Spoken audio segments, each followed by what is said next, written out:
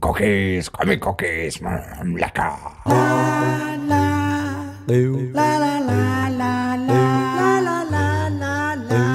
Das sind die Comic Cookies äh, mit der Episode 74 Ja, mit dem Lichtlegende mit dem Steffen. und mit einem Gast. Wer bist denn du? Hallo, ich bin der Andi. ah, stimmt, jetzt raff ich's. Jetzt raff ich's. ja, stimmt, das ist meine, meine, meine Anmoderation geklaut, wenn ich immer so. Wenn, War nicht gekommen, das war eine Hommage. danke. Ja, wenn ich versuche, kompetent zu wirken, aber nicht genau weiß, wen ich eigentlich im Interview habe, dann frage ich genau so an.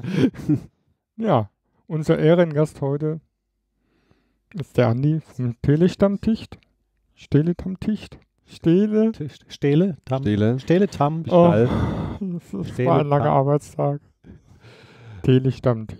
So, Das ist ja leicht. hinbekommen. Vielen Dank für die Einladung. Ich freue mich Ja, sehr, heute hier sehr sein gerne. zu dürfen. Immer wieder gerne. Sehr schön mit euch wieder. Wieder Und, sehr schön. Äh, das ist jetzt fast, fast die Runde, die wir auch äh, in Erlangen schon mal kurz hatten. Fehlen natürlich die Hälfte der Leute. Fast die Runde, ja. Aber ansonsten fast die Runde. Eigentlich sollte der Priester auch dabei sein, dem ist aber jetzt kurzfristig noch was dazwischen gekommen. Und die Jungs von das alles grüßen wir an der Stelle einfach. Schön groß. Ähm, und deswegen haben wir gedacht, wir machen äh, ein kleines äh, Resümee, Ja, können wir machen. Fazit. ich muss mir angewöhnen, Fazit zu sagen, weil ich Resümee nicht sagen kann. Und äh, Ja. äh, schließen doch einfach mal direkt da an, wo wir da aufgehört haben. Weil der Andi war ja noch einen Tag länger in Erlangen. Hm, Was das ist denn, richtig. Was ist denn am Sonntag noch so passiert? Das würde ich auch gerne wissen. Also, das ist natürlich nicht repräsentativ, was mir so passiert ist, weil ich natürlich morgens um neun, halb zehn mit Interviews angefangen habe. Das So ging dann erstmal bis Mittag. Insofern war der Sonntag nicht großartig gravierend anders, als es die anderen Tage auch waren. Jetzt lass mich überlegen. Ich habe dann am Ende doch noch ein bisschen Stress gehabt. Ich bin nämlich noch bei beim Next Art Verlag vorbeigerannt, also bei Tompa. Hab da äh, meine Commission abgeholt, die ich mir bestellt hatte. Ich wollte mir von ihm Batman Beyond habe ich mir machen lassen. Cool. Ähm, die habe ich mir abgeholt. Das war noch. Ähm, ich habe, was haben wir noch gemacht? Ich glaube, ich bin einfach nur noch ein bisschen rumgerannt und habe vers versucht, äh, alles auf die Reihe zu kriegen, denn ich bin, wie gesagt, Sonntagmittag hier schon gefahren und hatte morgens fünf, sechs Interviews. Ähm, ja, so sehr viel mehr war dann da nicht. Also es ist nicht so, dass ich mir noch irgendeine Ausstellung angucken konnte oder irgendwas genießen konnte. Es gab, zum, es gab glaube ich, noch so eine Abschlussrunde, wo auch der Jeff G zum Beispiel daran teilgenommen hat. Die hab, konnte ich mir auch nicht mehr anschauen. Ähm, ja, also es waren sicherlich noch ganz, ganz viele tolle Projekte äh, und, und, und, und, Programmpunkte da, die ich jetzt hier in der Form leider nicht wiedergeben kann. Aber sowas Außergewöhnliches ist jetzt nicht nochmal passiert. Nee, Was, zumindest nichts, was du mitbekommen hättest. Nee, gar nicht. Das, äh, wir hatten ja im Anschluss an die, äh, ich glaube Sonntag war dann der Release, wo es auch äh, von diesen offenen Brief gab von der Eve J, von der Comic Mhm. Solidarity, die ursprünglich mal als Mitglied äh, bei der Jury von der Ecom-Preisverleihung mit angedacht war, die dann da ein paar Sachen veröffentlicht hat oder an die Öffentlichkeit gebracht hat, auch ihren Standpunkt dargestellt hat zum, ja, einfach zur Besetzung der Jury. Das gab sicherlich nochmal so eine Art Skandal, kann man sagen. Es geht im Wes- Wesentlichen um die Frage, ob die von den Geschlechtern her angemessen besetzt war, ob es da genug Frauen in der Jury gab, also das Verhältnis von Mann, Männern und Frauen gestimmt hat oder nicht. Das gab da sicherlich nochmal ein bisschen Aufruhr. Es muss noch irgendwas zu der Bezeichnung Kartoffeldruck-Comics oder so gegeben haben, Ja, aber das, das weiß ich nicht genau, was die kleinen Skandale um Erlangen, ja, ja. Aber die hat man ja zum Teil, also das jetzt mit dem Kartoffeldruck, das gab es irgendwie auch schon im Vorfeld, so ein bisschen zumindest im Ansatz. Ähm, ja, von daher. Mhm. Gab es irgendeine Lösung zu dem Jury nicht gleich verteilt? nicht gegeben. So. Das ist ja so, Empfehlung? App selber stecke ich da nicht drin. Es gibt eine geschlossene Gruppe auf Facebook, Mhm. bei der ich gar nicht so genau weiß, wie viel interner man da sagen kann. Ich bin da aus irgendwelchen Gründen drin, ich habe mich hab angemeldet, jetzt bin ich auch in dieser Gruppe drin und da, also es ist nicht so schwer, so geschlossen ist sie dann doch nicht. So. Nee, Ähm, du kommst da relativ einfach rein. ja. Ich bin jetzt auch drin. ah, sehr gut. Hey, aber dann aber, ihr ja wirklich naja, was heißt, aber das, nee, das ist noch nicht die ganz innere Gruppe. Es gibt noch mal eine kleinere, wo das dann wirklich nur die Juroren sich da einfach untereinander, äh, äh, untereinander sprechen. Genau, es ist irgendwie so eine WhatsApp- oder Facebook-Gruppe, so eine Messenger-Gruppe. Aber es ist einfach so, dass da quasi ein Teil dieser öffentlichen Diskussion findet auf Facebook statt, ein anderer Teil findet im, im Comic-Forum statt. Ähm, auf Twitter findet ein bisschen statt und es ist natürlich nicht nur für die betroffenen Leute schwierig, da mitzukommen, wer was eigentlich gesagt hat, sondern auch für den potenziell Interessierten. Und als potenziell Interessierter muss man sich aber auch im Klaren sein, dass es eigentlich eine interne Diskussion ist, die ein bisschen nach außen eskaliert ist. Ähm, Ja. Da treffen Leute aufeinander, die seit Jahren in diesem Business drin sind, unterschiedliche Meinungen und Egos mitbringen und da hat man halt einfach nicht unbedingt dieselbe Meinung zu diesem Thema. Mhm. Ja. Naja, gut. Und dann warst du, dann hast du dir nicht viel Ruhe gegönnt. Bist gleich zur nächsten Messe gepilgert, Ja. zur Comic-Con nach Stuttgart. Genau, aber mega spontan. Es war gar nicht so richtig geplant. In Erlangen hatte mich der ein oder andere Künstler und Künstlerin noch gefragt, ob wir uns in, er dann, dann in Stuttgart wiedersehen. Was nicht unbedingt geplant war. Aber wie dem auch sei, ich habe eine Freundin, die mich unsagbar liebt und mir vieles möglich macht. Und äh, da habe ich einfach mal ganz spontan versucht, eine Akkreditierung für Stuttgart zu kriegen, für die ähm, Comic-Con Germany. Ich möchte mich an dieser Stelle schon mal entschuldigen. Ich habe während der Interviews, die ich geführt habe, andauernd German Comic-Con gesagt. Also wirklich andauernd. Es tut mir tierisch leid. Es ist mir völlig klar, das ist eigentlich die Comic-Con Germany in Stuttgart. Ja, und deswegen habe ich da spontan dann doch noch eine Akkreditierung gekriegt, noch ein bisschen hin und her. Es war nicht so easy. Ich musste den erstmal klar machen. Also ich musste den beweisen, dass ich bin, wer ich bin quasi. Mhm. Und ähm, hat aber super funktioniert. War dann dort, habe zwei wunderbare Tage in Stuttgart gehabt. Ähm, da gibt es zum Mittag zum Beispiel für die Presse was zu essen. Oh. Total gut. ja, und ähm, auch tolles Wetter, super warm. Halt eben in der Messehalle, nicht in der Stadt wie in Erlangen. Ne? Mhm. Genau, aber im Grunde nach eine ganz tolle Veranstaltung. Was sind denn aus deiner Meinung oder aus deiner Ansicht nach jetzt die, die großen Unterschiede? Weil, weil das eine ist die Comic-Con, ja, also wir alle, die wir jetzt so in diesem Nerd-Kosmos uns irgendwie bewegen, können das schon so ein bisschen unterscheiden. Es gibt ja aber dann nochmal Unterschiede zwischen Comic-Con und Comic-Con, ne? Genau sieht Weil aus. du bringst sie ja selber durcheinander. Es gibt die German Comic Con, das sind die, äh, die in verschiedenen Städten aufploppen und es gibt die Comic Con Germany, die eigentlich nur in Stuttgart ist und zwar auch von einem Veranstalter ist, der schon mehrere Cons gemacht hat, aber alles irgendwas anderes, also es hieß zumindest irgendwie anders. Mhm. Ja. Die Cons, die du jetzt angesprochen hast, diese neuen Cons, nenne ich sie mal, die German Comic Cons, tragen das Comic ja eher im Namen. Das heißt, ähm, der Mike, zum Beispiel Mike kennt ihr vielleicht auch, der äh, ist auch ein bekannter Commission-Fan, den ich auch schon ein paar Mal zu Gast hatte und, und um die Welt reist für, für, für geile Comics und Signaturen. Ähm, der meinte, dass die German Comic Con im Endeffekt ja einfach eine Popkultur-Con ist, wo Comics jetzt nicht die wesentliche Rolle spielen. Aus Frankfurt kann ich das so bestätigen. Und diese Con in Stuttgart, die allerdings hat einen riesengroßen, also verhältnismäßig großen Comic-Bereich, wo auch Verlage da sind. Also dieses Jahr waren da, ich kann mich oft schnell erinnern, eben an Crosscult, an Panini. Die Jungs von Plem Plem hatten zehnjähriges Bestehen dort, das haben sie dort ausgiebig gefeiert.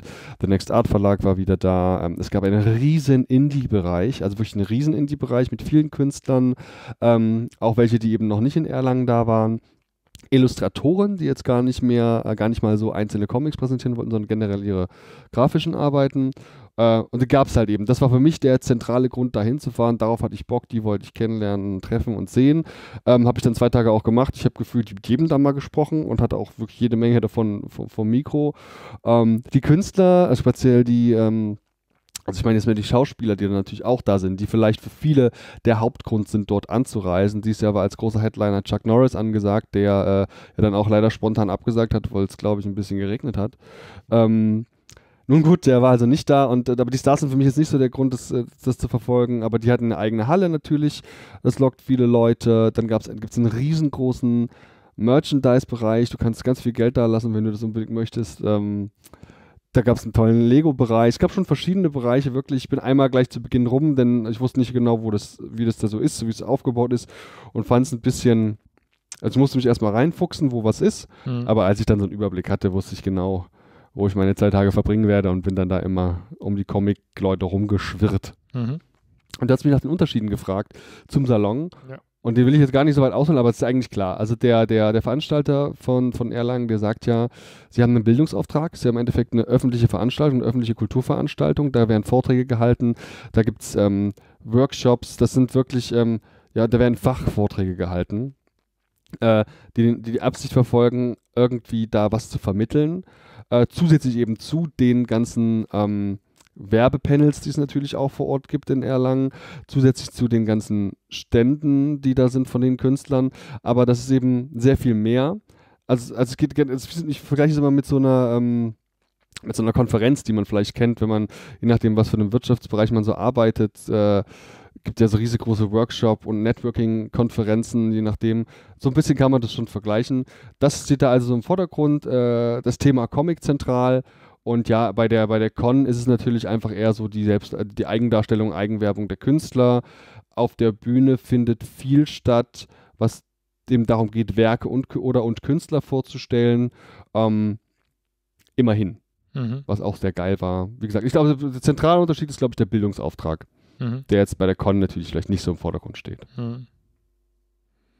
Ähm, es gab ja so ein bisschen einen Bericht, äh, ich weiß es gar nicht, vom Alphons, glaube ich, oder so. Hast du den gelesen? Mhm. Äh, der so ein bisschen sich auch so über die Geschehnisse auf der Bühne und sowas äh, ausließ, aber irgendwie auch nur gefühlt in dem Bereich aktiv war.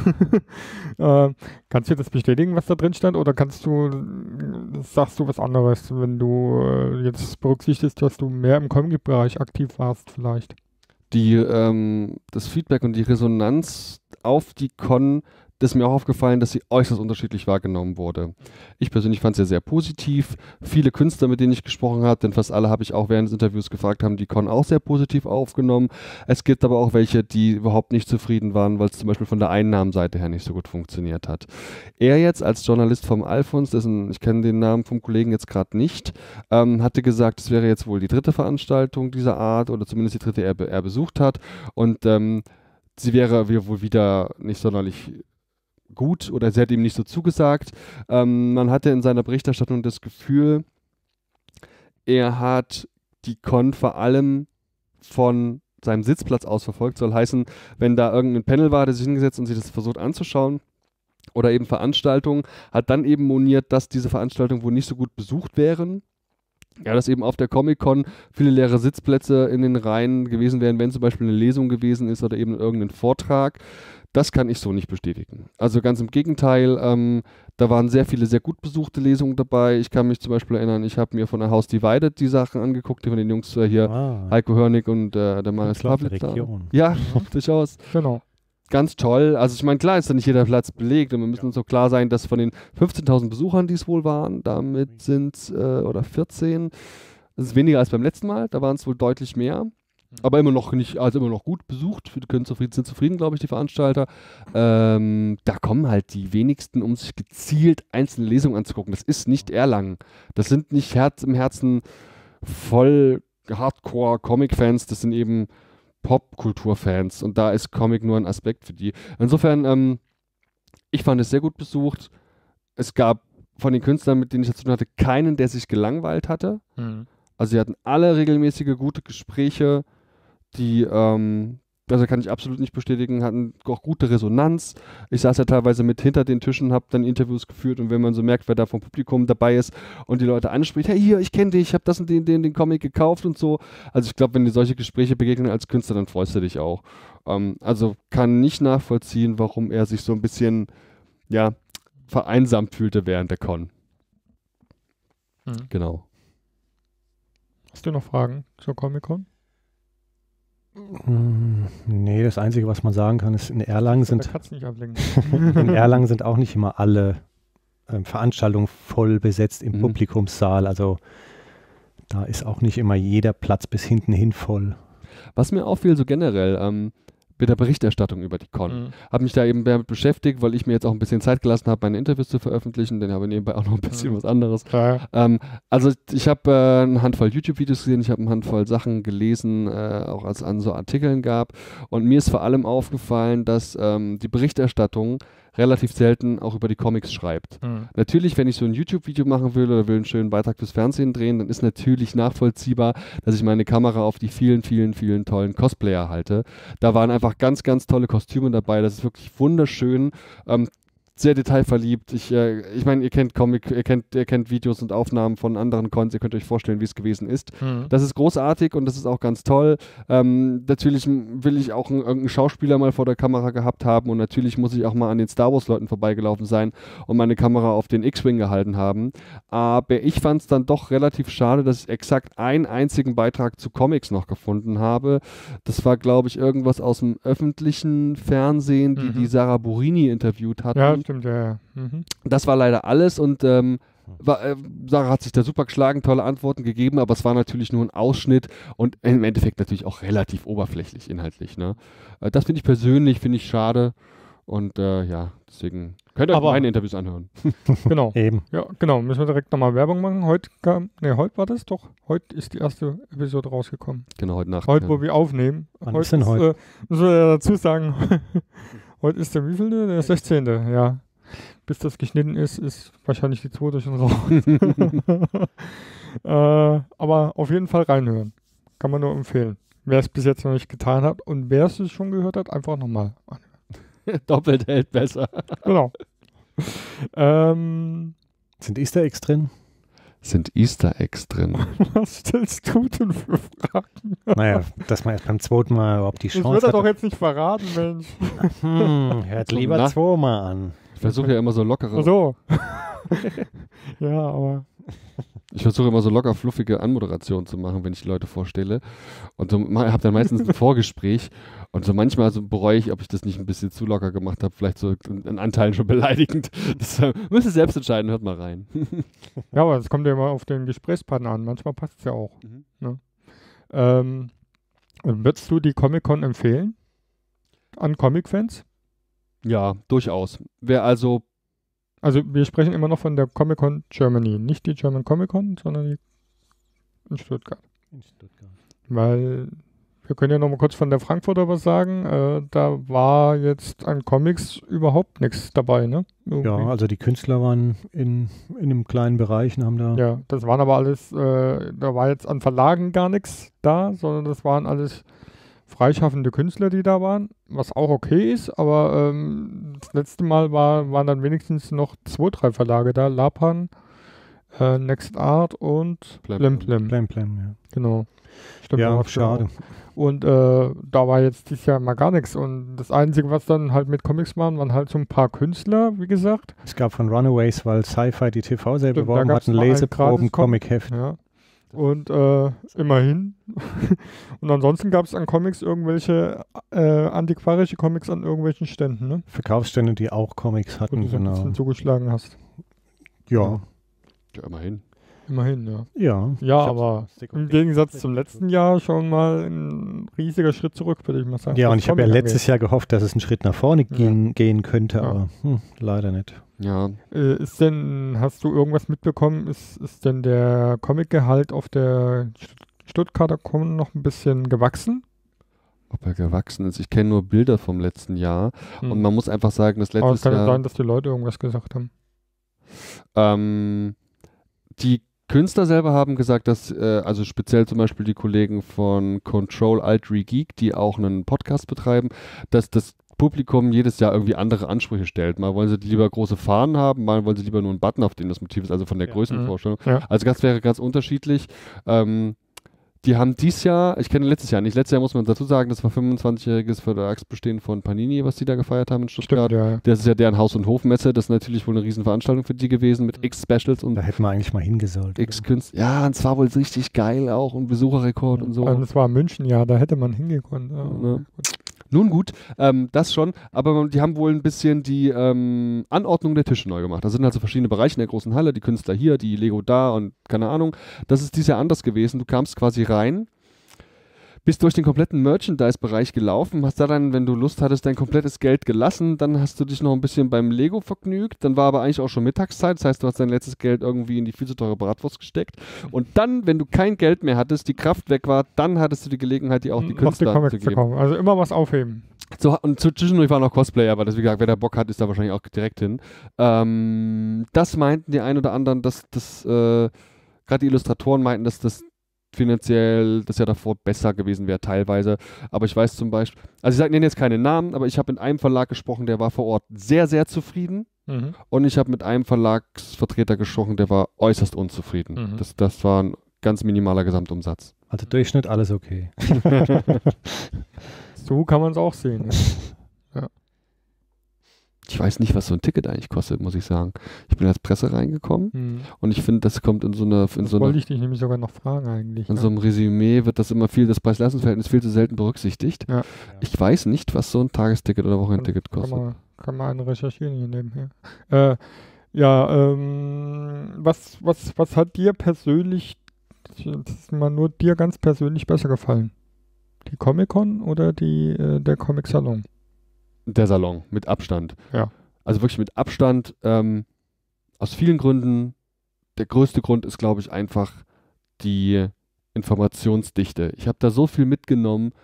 Ich habe, ich war, ich bin morgens aufgewacht und war überwältigt von der Vorfreude, die ich auf den Tag hatte. Allein vor, äh, Interviews mit Mike Perkins zu sehen, mit, mit Lemire zu sehen, äh, die persönlich mal zu sehen, die laufen an dir vorbei, während du deinen Kaffee schlürfst und so. Äh, da, war, da, da, da kam der Fanboy in mir durch. Also mit Abstand Erlangen. Mit Mhm. Abstand. Und Ko- die Con war schon sehr gut. Ja, also Genau. ich war jetzt ja leider nicht auf der Con, aber das in Erlangen, ähm, das habe ich jetzt dieses Mal nicht erlebt, aber in den letzten Jahren passiert es ja auch, dass Leute, die gar nicht unbedingt als Gast äh, auf, in Erlangen auftretend Berühmtheiten sind, sondern dass da auch unter den Leuten, die rumwuseln, eventuell einfach ähm, auch mal Leute sind, die du vielleicht aus dem Fernsehen kennst und die sind dann nur da, um, auch weil sie auch Comics cool Mhm. finden. Und da passiert es, dass wenn du in, in der Kiste neben, also wühlst neben dem, äh, der andere da dann wühlt und dann guckst du nach links und ist das und dann fragt er dich irgendwas zum Thema Comic. Du antwortest ganz normal, als wäre es ein normaler Mensch, aber wenn du weißt, wer das war, das war dann vielleicht auch irgendein Promi. Hm. Der Hennis Bender zum Beispiel war ja auch. Ja, Der war sicher. diesmal da, genau. Da Ja. hast du ja auch einfach in derselben Schlange gestanden oder ist beim selben was gewollt? Nee, wie war das? Doch, Was? bei dem, ähm, bei dem Zeichner. Also nicht gleichzeitig, aber er Ach hat ja, auch ja, da gestanden, ja. wo Mhm. du Wo ich mir was zeichnen lassen. genau was zeichnen lassen Ja. hast. Äh, kurzer Nachtrag. Die Erwachsenen bezahlen 27 Euro für, den, für einen Tag, für Samstag oder Sonntag. Comic-Con Germany. Und wenn du, genau, und wenn du äh, das ganze Wochenende rein willst, bezahlst du 42 Euro. Ist Schon stolz. Ja. Äh, ich meine jetzt, die, die Frankfurter kam, glaube ich, 25 Euro, wenn es dies Jahr noch so war. Ich weiß ja auch nicht, weil wir auch als 30, Presse. irgend sowas, ja. Weil wir als hat der Matthias nicht 30 bezahlt und hat, wir hatten gedacht 25 oder hat er gedacht, es kostet Nee, 20 wir nur hatten gedacht 25? 20 und es waren Dann hat es 25. 25 gekostet. Und äh, genau so war es. Und äh, Erlangen? aber du kannst ja die beiden Messen ja auch schon wieder miteinander vergleichen, weil du ja beides kennst. Ja. Äh, Insofern ist das mit Stuttgart die viel bessere Option. Okay. Also viel, viel besser, Ja. weil eben auch viel mehr geboten wird. Ähm, weil da halt überhaupt Panels stattfinden, die äh, irgendeinen interessanten Bezug haben und mir dann nicht einfach nur YouTube-Videos gezeigt werden. Das kann man echt nicht vergleichen. Ähm, das, das ist schon gut. Äh, wenn zum Beispiel man einen Optimierungsansatz bringen darf, es ist natürlich das ein oder andere Panel auch ausgefallen, leider. Und ähm, das ist natürlich sowohl für die Veranstalter blöd als auch für die Fans blöd. Ich finde, da sollte man so ein bisschen ein Backup irgendwie parat halten. Also ich meine, ihr wisst, äh, ich plauder ganz gern und es waren vor Ort noch ähm, andere. er bietet sich gerade an. Ja, das klingt so, gell? Er bietet sich gerade an. genau. Und ähm, das waren auch äh, andere Podcaster da. Also ich sag mal so, hätte ich das gewusst, ich hätte so eine Notfall-PowerPoint-Präsentation mitgebracht. das wäre jetzt überhaupt nicht das Problem. Musst du immer so einen kleinen Stick in der Tasche Ja, haben. genau. Und jetzt hier für. Notfälle. Für Notfälle. Ja. Einfach mal eine halbe Stunde Bad Metal. ja, genau. Also, warum nicht? Also bitte. Aber vielleicht kann ich noch Werbung machen für eine Veranstaltung, die noch im Herbst Oh ja, gerne. stattfindet. gerne. Ähm, und zwar werde ich persönlich noch sein in Erfurt auf dem Comic Park. Der Comic Park findet auf der Erfurter EGA statt. Das ist äh, ein riesengroßer Garten. Da war mal so eine Gartenschau und ist im Endeffekt ein riesengroßen Gartending. Äh, total im Grünen mit etwas älteren, aber trotzdem angebrachten äh, Mini-Messehallen. Ein paar Leute sind da und dieses Jahr werden auch jede Menge Künstler da sein, einheimische wie internationale. Sag ich mal, da hat der Veranstalter einiges äh, auf die Beine gestellt. Cosplayer, ähm, wie gesagt, deutschsprachige Sachen. Es äh, war letztes Jahr im Frühjahr, glaube ich, oder im Sommer. Das war fantastisch. Warum sollte es dieses Jahr nicht fantastisch werden? Und das ist natürlich ein großes Highlight, auf das ich euch alle mal hinweisen möchte. Äh, ich werde auch da sein. Und zwar habe ich da sogar eine eigene Bühne. Wenn alles klar geht, werde ich dort Sogar alle, die meisten. habe ich gehört. Hm? Was ist mit Sofa? Er hat ein eigenes Ich Sofa. ein eigenes Sofa. Geil. Das ist Nice, nice. Ja. Vielleicht kriegst du gar nicht. Kurzum, ich will da einfach Leute interviewen. Ich will Podiumsdiskussionen machen und ähm, wäre cool, wenn da irgendwer zuhört. Insofern Ja, guck cool. vorbei. Guckt euch das auf jeden Fall mal an. Genau sieht's aus. Diejenigen, die da sind. Comic Park Erfurt ist leider parallel zum Comic Garten in Leipzig. Ah, Leider wirklich parallel. Es gibt auch mit den, mit den anwesenden Verlagen und Künstlern teilweise ein bisschen Terminprobleme, also wirklich arge. Aber ja, also wir machen trotzdem das Beste draus, keine Sorge. ja gut, Erfurt und Leipzig ist auch nicht so nah beieinander, ne? Aber nah genug, je nachdem, wo du herkommst, ist alles Ja. drüben drüben und dann. Ja, ja, klar, das ja. Wenn du gerade zwischendrin wohnst, dann ist es op optimal, aber für die Künstler da von A nach B zu fahren mal schnell, hm, schon schwieriger wahrscheinlich, ne? Naja, gut. Erfurt. Erfurt. Kommst mit? Ich war noch nie da. Wird Zeit. ja, wenn- Ist das das, ist halt auch wieder so ein Wetterding wahrscheinlich, ne? Leider. ist ein Herbstding. Ja. Ist das Wochenends oder? Ja. Komm ich mit? Sehr gut. Wenn ich nicht irgendeinen Termin habe. Haben wir das geklärt. Ihr habt's gehört, ihr seid live dabei. Yeah. Ja, dann kriegst du ein Mikro mit ne? und, Und dann setz mich auf die Couch. setz dich mit auf die Couch. okay. Ähm, ja. Ich glaube, damit haben wir das, den Themenbereich so weit. Im Bereich Couch sitzen haben wir haben wir durch. Haben wir noch was zu ergänzen zum, Comic, zum Comic-Salon? Zum Comic Salon. Ähm, also ich hätte noch Jetzt schon fast verjährt, aber fast verjährt. Nee, noch nicht richtig. Also in, in datumtechnisch ist es schon verjährt, aber ich mein, den emotionstechnisch Comics, in meinem Kopf noch nicht. Also ich hatte direkt nach dem Salon noch drei, vier Tage Urlaub. Da habe ich noch weiter in, in äh, Erlangen Gedanken geschwelgt Mhm. und Ideen. Ähm, ich kam auch dazu, ich habe mir in Erlangen ein, zwei Comics gekauft. Gut, vielleicht sind es ein paar mehr gewesen, aber ich habe mir Comics gekauft von ungewisser Anzahl und habe Kommt die die alle gelesen und das ist auch cool. Und dadurch blieb ich noch länger äh, gedanklich in Erlangen. Dankeschön. Und habe, habe, habe, habe Drei Tage frei gehabt. Und drei Tage frei gehabt und gelesen und damit mir Erlangen noch weiter am Leben erhalten, zumindest in meinem, ja, in meiner eigenen Welt. Und darüber hinaus gab es dann lauter Podcaster und Mitpodcaster und neue Mitpodcaster, die ich kennengelernt habe, die alle gepodcastet haben. Und dann gab es auf jeden Fall noch jede Menge Podcasts zum Thema Erlangen. Damit war ich schon wieder mit Erlangen beschäftigt. Es war immer noch nicht rum. Und ähm, ich glaube sogar bis jetzt kann man immer noch, wobei jetzt ab dem Moment, wo weitere ähm, Veranstaltungen kommen, Mhm. dann schwenken die meistens zum nächsten Thema. Aber Mhm. bis dann die Veranstaltung Stuttgart war und sowas, war das Thema mehr oder weniger immer noch mal Erlangen. Und ähm, dann gab es ja so viele Links, hier kannst du noch mal da bei YouTube was gucken und hier da noch mal. Das muss man ja auch alles abarbeiten. Das passiert ja auch der Reihe nach nacheinander. Das heißt, so lange war ich immer noch gedanklich bei Erlangen. Die aufgezeichnete TV-Folge ist auch noch nicht raus, ne? Nee, die würde ich dann auch noch mal gucken. Ich habe fast gedacht, dass die vielleicht sogar auch noch in dem Zeitraum kommt, ehe, ich, ehe es vielleicht abebbt. Aufgezeichnet TV habe ich schon mal gehört. Woher kenne ich das? Comic Talk meine ich, aber das, das ist ja aus äh, aufgezeichnet TV hervorgegangen. Ach so. Aber habt, habt ihr einen Zugang zum Massengeschmack TV? Wir haben da Connections. Boah. Du nicht, ich habe einen. Er hat Connections. Da klingelt ein Telefon. Ja, dann, dann wimmel ich mal den oder diejenige ab.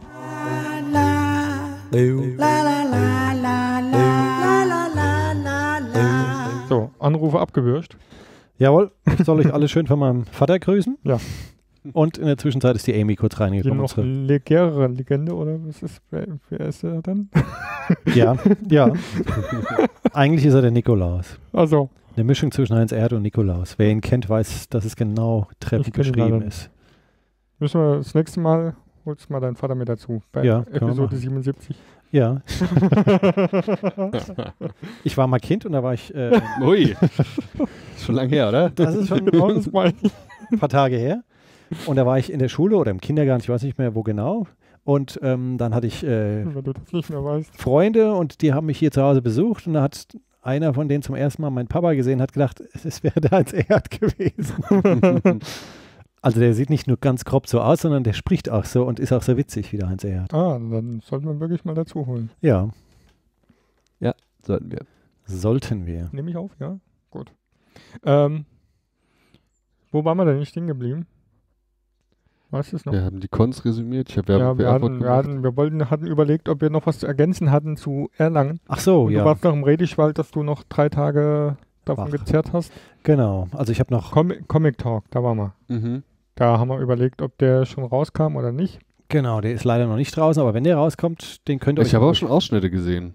Auf Das Facebook. Ausschnitte gibt es schon. Ja, Ja, das kann sein, dass immer mal ein bisschen was ich anteasern. glaube, ich habe noch keine Ausschnitte gesehen. Aber ich muss, ich mal gucken, ob ich den, den muss ich mal den Zugang wieder Ja. und dann, Gucke mal, ob es schon soweit ist.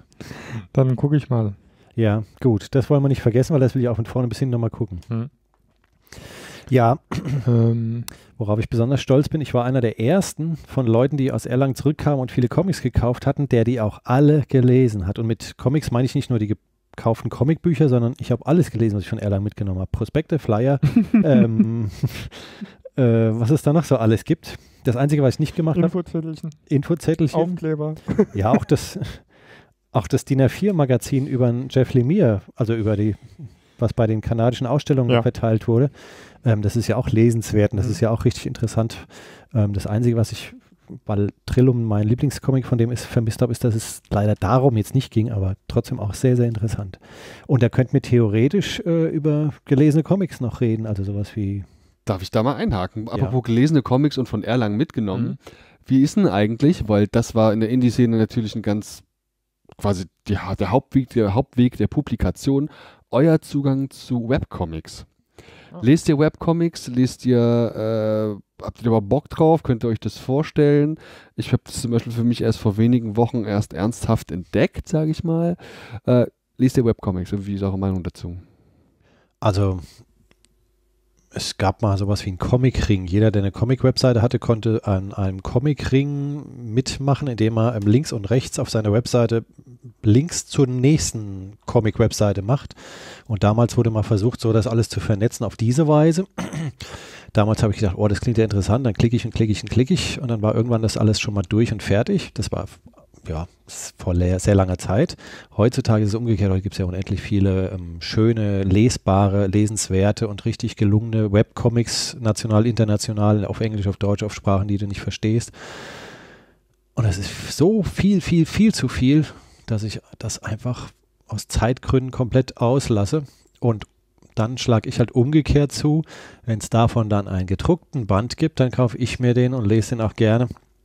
Es gibt natürlich immer Ausnahmen. Also ähm, im Comic-Kreis, wo man so lange unterwegs ist, dass man früher E-Mails geschrieben hat, man macht das heute immer noch so. Da gibt es dann immer Anhänge mit Cartoons oder ähnlichen. Aber ansonsten lese ich aktiv leider fast gar keine Webcomics, was ich manchmal sehr schade finde, weil eigentlich, wenn man sagt, ich will auch gerne mal die neuen Sachen entdecken, will gelesen haben, Ese die Masse liest, da bin ich ja ganz groß auf dem US-Markt dabei, aber es geht immer nur um Printdinger. Und ich verpasse alles, was äh, im Webcomic-Business los ist. Und da gibt es so viel coole Sachen.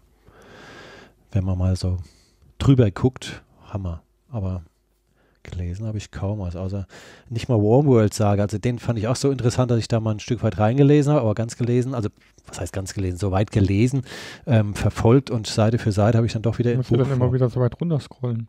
Das finde ich ja das Tolle.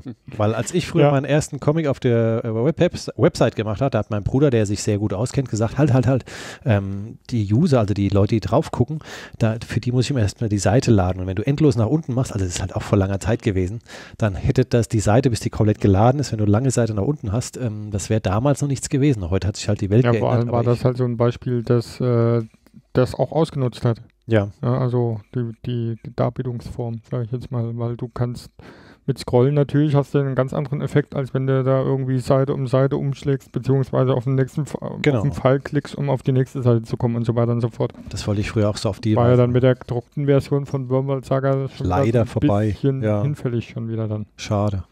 Ähm, Aber gelesen habe ich es doch als Buch. Ja, Das Erlebnis gut, als ich Buch habe ich es auch zu Hause, ja, aber äh, ja. Das Erlebnis Scrollen hatte ich gehabt, aber gelesen habe ich es dann doch wieder als Buch.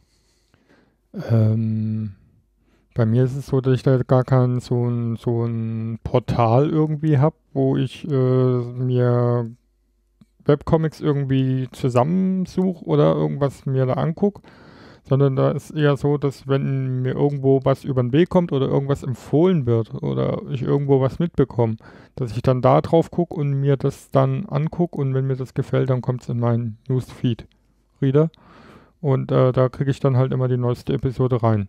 Äh, du hast jetzt zum Beispiel Mick at Six äh, in Erlangen, den habe ich mir dann auch direkt mit da reingelegt. Und, und, und so passiert das in 90% der Fälle und so viele sind es dann leider dementsprechend auch nicht. Also natürlich die üblichen Verdächtigen. Früher war das noch ähm, die, äh, der Zuckerfisch, war das zum, genau. Und dann natürlich, äh, das Leben ist kein Ponyhof. Hm. Comicstrips. So die üblichen Verdächtigen eigentlich. Das Leben ist keine Ponyhof, heißt es. Mit E. Aha. Hast du das gesehen? Nee. Nee. Auf der Medaille, die Sarah Burini überreicht Ach so. Ach so, ja, ja. diesem ja, ja. Druckfehler drauf. Okay. Ah, da war ein Druckfehler drauf. Das Leben ist keine Pommes. Das Leben ist keine Pony. Sehr schön. Äh, ja, genau. Heutzutage, So, so passiert das und, und so, ja, so abonniere ich die, die Dinger dann halt über einen Ja. Newsfeed-Reader. aber es gibt ja ganze Comic-Geschichten, also Du jenseits kannst- von Strips. Du kannst so. natürlich auch auf mycomics.de oder sowas gucken und, und dir da was raussuchen irgendwie, aber ähm, Also die ganz großen Dinger, die ich leider verpasse, das sind die, die nochmal eine Spur, äh, also über MyComics, über Comicstrips sind. Also es gibt Leute, die, das kriege ich dann halt erst mit, wenn es als Papier, gedr- also auf Papier gedruckt ist. Ähm, es gibt ganz große Namen oder Leute, die deshalb groß geworden sind, weil sie im Webcomic-Bereich angefangen haben. Aber manche sind auch schon, also in Amerika sind das schon große No- Namen und neben den Sachen, die sie auf Papier veröffentlichen, haben sie auch noch einen Webcomic. Und erst wenn der dann gedruckt ist, lese ich den auch und dann denke ich, ui, ui, ui. Na, Weil jetzt zum Beispiel hier in Erlangen, die ist ja einer der Max und Moritz Gewinner, wie hießen sie? Nico Nico? Ja, genau. Die sind ja auch aus dem Web- Webcomic entsprungen. Was für mich zum Beispiel total Erkenntnis war, ähm, weil ich diesen, ich habe es ja schon erwähnt gehabt, den Heiko Hörnig mal ein bisschen angesprochen habe, weil ich eben angefangen habe, deren Werke erstmal online zu lesen. Mhm. Äh, Selektive Erinnerung damals noch, ne? Oder Kletschmoor habe ich jetzt noch Ah, gelesen, das war das okay. erste. Äh, Das was ist geil, aber weißt du was? Ich kenne nur das, was sie als Preview gedruckt haben. Okay. Sorry. Na, sie haben es irgendwann erstmal dauerpausiert. Also ich bin man Ja. ist relativ schnell an die letzten paar Seiten angelangt und weil jetzt eben Haus Divided im Vordergrund steht.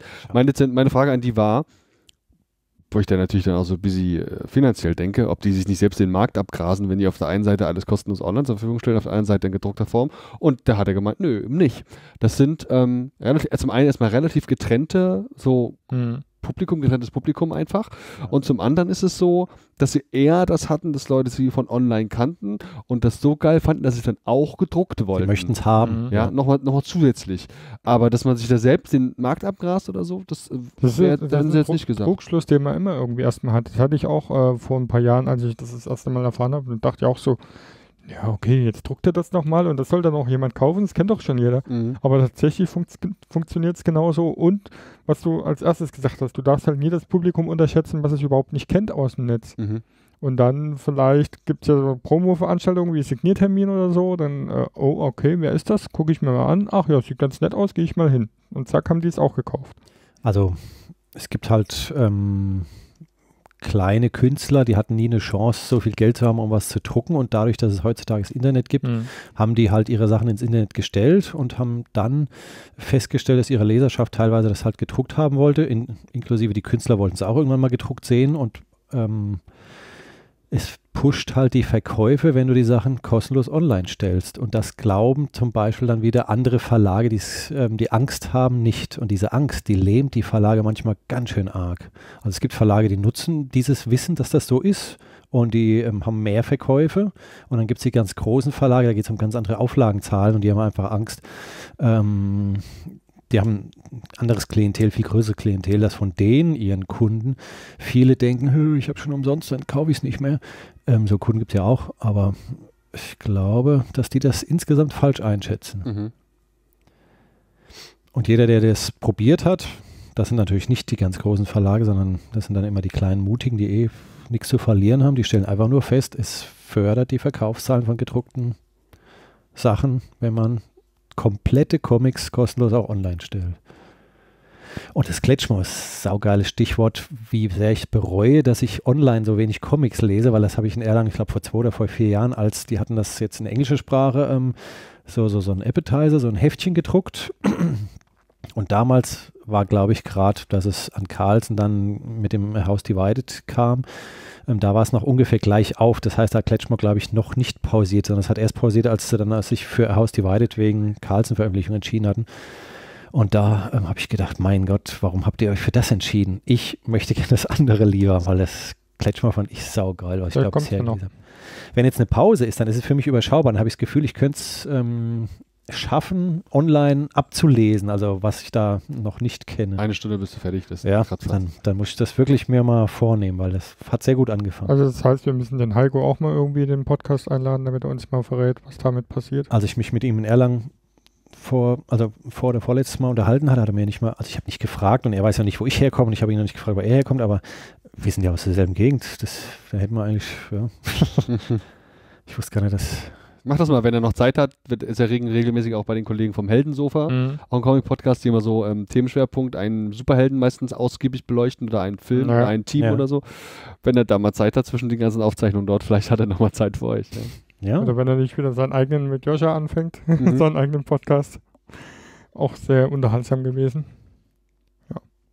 Wie hieß es? Peinliches Schweigen. Ah ja, so heißt der Podcast. Guter hieß, Titel. ja. War sehr unterhaltsam. Kann ich nur empfehlen. Aber gab nicht so richtig viele Ausgaben, ne? Nee, es war jetzt nur eine Staffel mit sechs Episoden oder sowas, Mhm. glaube ich. Aber die sind ja noch da. An die kann man sich ja noch anhören. Verlinkt man auch, oder? Können wir auch verlinken. Ja, das ist nämlich immer gut, weil dann finde ich es nämlich auch, falls ich mal möchte. Ich kann es ja auch aufschreiben. Ja. ja. Ähm, ja. Wollen wir denn mal zum Thema Comics kommen, ja, die wir aus Erlangen mitgebracht haben? ja. Wer hat denn den größten heute? Also, wenn Ich jetzt der Bredstorm da gewesen wäre, wäre erst. Ja, bestimmt, mit Sicherheit. Aber wir haben ja, ich sehe ja, wir haben ja auch so ein paar Comics, wo wir äh, vielleicht Aber du hast nicht alle dabei. eine Schnittmenge haben. Ich habe bei mir auch die, die ich schon weggeräumt habe, habe ich nicht wieder wer, hat denn, rausgeräumt. wer hat denn alles diesen den habe ich gelesen? sogar, Den den habe ich mehrmals gekauft. Ich habe aber ihn aber noch nicht gelesen. noch nicht gelesen? Den hatte ich schon, glaube ich, habe ich den schon in Dann- Erlangen gelesen? Also den hatte ich als Den habe ich in Erlangen gelesen. Jetzt, jetzt ist natürlich für die Hörer jetzt super, wenn wir hier alle Comics durchgehen. Aber So, der ich wollte nur ganz kurz nochmal gucken, ob wir irgendwo noch eine Schnittmenge haben. Aber äh, gut, das, was, du hast einen dabei, da habe ich angefangen reinzulesen. Es sind durchaus ein paar, wo wir eine kleine Schnittmenge haben. Aber, aber auch bei- du hast ja viele kleine Hefte. auch viele schöne Sachen. Meinst du mich? ja. Ja, es sind ja gar nicht alle. Ich lasse aber trotzdem den Gast den Vortritt. Jetzt. ja, natürlich. Äh, Der greift schon beherzt zum Tablet. Tablet. Die, Äh, sind diese neumodischen, Super geil. 2018 ist toll. guck, dem gehen Licht auf. Ja. Und Jetzt kann er einen Comment lesen. Ähm, äh, Wir sind noch Analog-Podcast und er schon Digital-Podcast. uh, habt ihr noch die, äh, noch, ihr versteckt eure Podcast auf Kassette noch, ne? Ja. Sehr gut. Das sind Wir die verschicken die ja. Und das so eine Mailingliste. Mhm. ähm, ich, äh, ganz im Ernst? Können wir eigentlich mal machen, oder? ja. ja Mailingliste? Na, also so eine Mailingliste und dann auf MC so eine Podcast-Episode drauf aufgezogen. Ja, oder auch, du habt jetzt diese schicken Visitenkarten, Querstrich Sticker. Ja. Stell dir vor, du hättest einfach so, ein, so eine CD, wo das alles drauf gedruckt wäre. ja. Und du kannst so eine CD, versch- so wie, ist ja gleichzeitig auch ein Frisbee. Hm. Also hätte dann schon noch multifunktionale Effekte. Ich muss kurz noch was einwerfen und zwar was, äh, ein Mhm. bisschen Hausmeisterei. Der Breedstorm hatte vor etlichen Episoden, nämlich vor den ganzen Episoden über Erlangen, äh, irgendwie mal ein Gewinnspiel gestartet. Da weiß ich jetzt gerade gar nicht den Stand.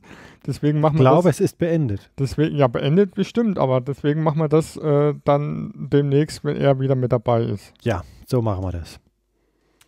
Ich habe mir nämlich ein neues Tablet gekauft. Aber Die ein, Marke sagen. In ähm, es ist ein, es ist aktuelle Amazon Fire HD, Oh, nee, dann irgendwas. sag's lieber doch nicht. ja.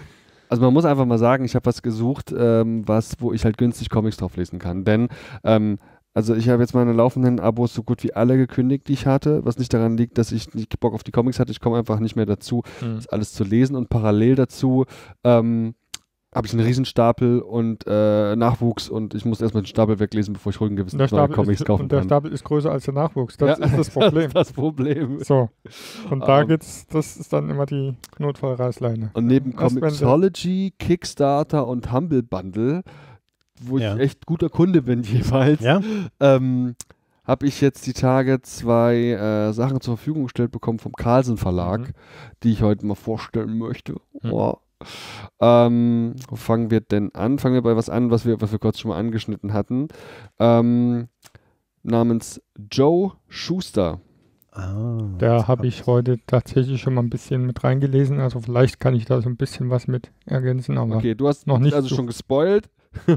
Also ich kenne halt schon seine Geschichte. Das heißt, ich habe nie, ähm, es gibt Bücher, da sind keine Bildchen drin, sondern nur Text. Da habe ich schon mal ein Buch über ihn gelesen. Aber ja gut, viel Spoiler. nee, ich glaub glaube, ich auch. ich sage gar nichts, weil über also Bücher mit lauter Buchstaben, ich glaube, die rezensiert man nicht. Die sind ja so.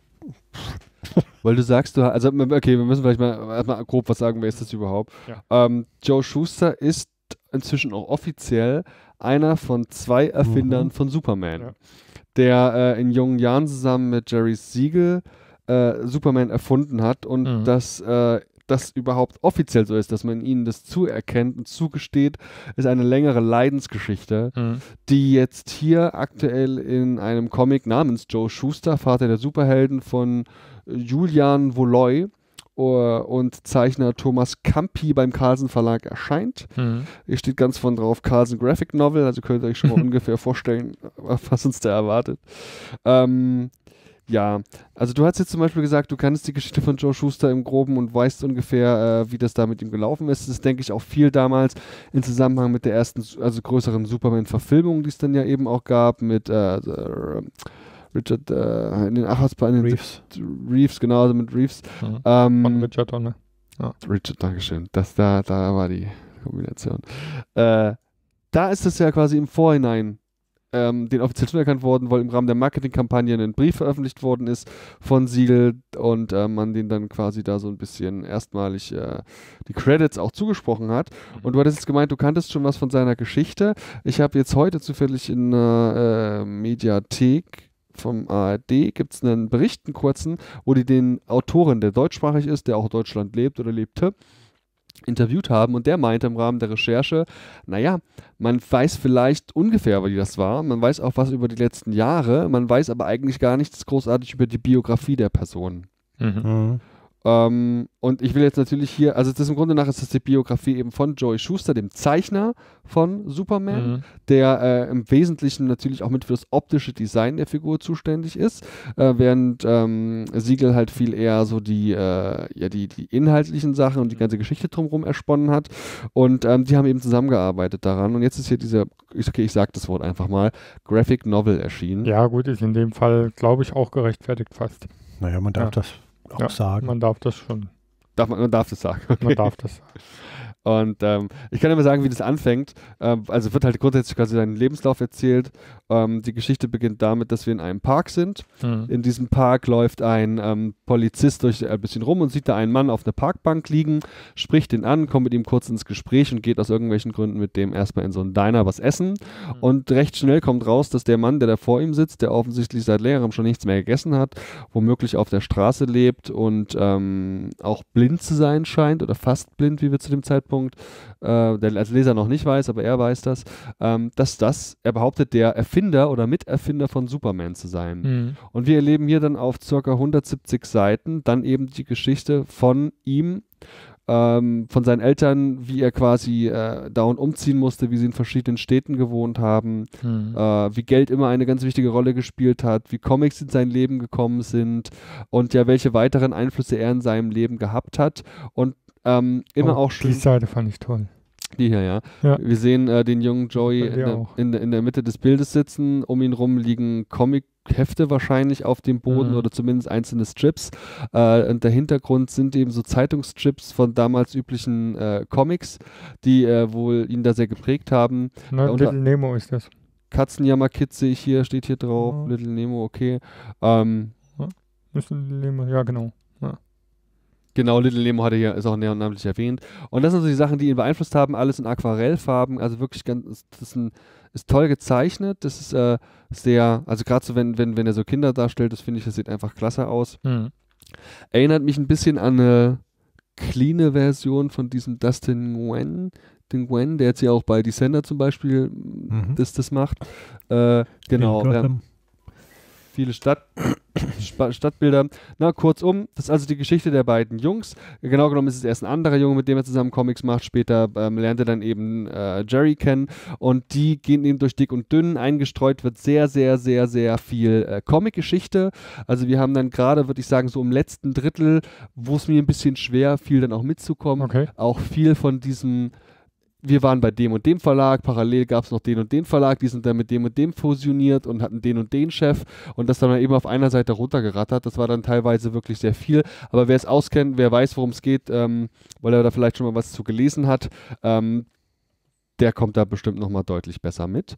Und das ist eine sehr einfühlsame Geschichte. Also wir haben ähm, immer wieder den Moment auch von Rückschlägen, denn sie haben Superman bei ganz vielen, heute würde man sagen, äh, bei, ganz vielen Firmen, heute würde man sagen, gepitcht. Also haben eben bei Verlagen diese Figur vorgestellt in ihrem Konzept und hatten da ähm, natürlich auf dem Weg dorthin auch viele andere Geschichten äh, schon konzipiert. Genau, ja. Sehr interessant, sehr, ähm, also für mich einfach, der ich jetzt auch nur in den groben Zügen wusste, der ähm, zum Beispiel auch gar nicht so richtig mitbekommen hatte, die waren ja auch, die waren zwar zu Beginn Best Friends, haben das zusammen entwickelt und sind auch wirklich durch dick und dünn gegangen, aber es gab natürlich auch Zeiten, in denen sie sich nicht so verstanden haben und das war unter anderem auch die, eigentlich ähm, es gab so Zeiten, da haben sich jahrelang hatten die keinen Kontakt. Das fand ich ähm, ganz interessant zu sehen. Oder wir sehen hier zum Beispiel auch in einer Szene, ähm, wie Superman angeblich entstanden ist, hat der Autor alles in Recherchearbeit rausbekommen. Da äh, konnte Jerry Siegel einfach nicht schlafen. Und dann ist er aufgestanden auf Toilette, hat auf Toilette seine Ideen aufgeschrieben, ist wieder ins Bett und dasselbe dann drei, vier Mal. Und am Ende des Abends oder am nächsten Morgen war dann so das Grobkonzept für Superman fertig. Ähm, Fand ich auch die Szene sehr schön, wie er dann im Schlafanzug dann direkt zu einem Haus kommt Genau, irgendwie ja. und Wirklich cool. Wir haben natürlich ganz viele andere Sachen. Also äh, natürlich tauchen auch Namen auf wie Bob Kane und Bill Finger, die Mhm. Erfinder von Batman. Hm. Ähm, dass da auch nicht, dass da eigentlich, da waren keine Sympathien vorhanden. Das waren gerade Bob Kane, haben, von dem hat, glaube ich, damals, also hat, die, die beiden Jungs haben nichts von dem gehalten. Hm. Und äh, fa- fa- fanden Batman auch als, ein, als eine. Sie haben mit Superman einfach eine ikonische Figur geschaffen. Man sagt ein Stück weit ein, einen der ersten großen klassischen Superhelden, wenn nicht gar den ersten großen klassischen Mhm. Superhelden. Das der Vorzeigeprototyp für Superhelden, der gleich im Anschluss von vielen, vielen anderen Verlagen und Künstlern auch kopiert wurde, wurde ähm, und sehr erfolgreich zum Beispiel eben auch von Captain Marvel, der äh, ja also ganz offensichtliches Rip-Off von Superman ist und zeitweise eben erfolgreicher auch war. Das ist hier alles mit dabei. Äh, wie gesagt, viel Comic-Geschichte, viel über die Naja, Jungs. auch wie, wie Superman selbst entstanden ist oder welch, welche Inspiration er hatte. Also Superman selbst, die, die erste Variante, die ja auch da drin erwähnt wird, war ja die, dass Superman eher so ein Anti-Held war, beziehungsweise so ein, naja, schon, schon fast, fast ein Schurke eigentlich, ne? Äh, das war die allererste Version mit dieser, mit dieser Rachegeschichte des Superman oder wie, wie haben sie es hier übersetzt? Also Reign of Superman heißt es im Original, glaube ich. Ja, Reign of Superman ist, das Boah. ist mir auch aufgefallen, dass das hier irgendwo genannt wurde.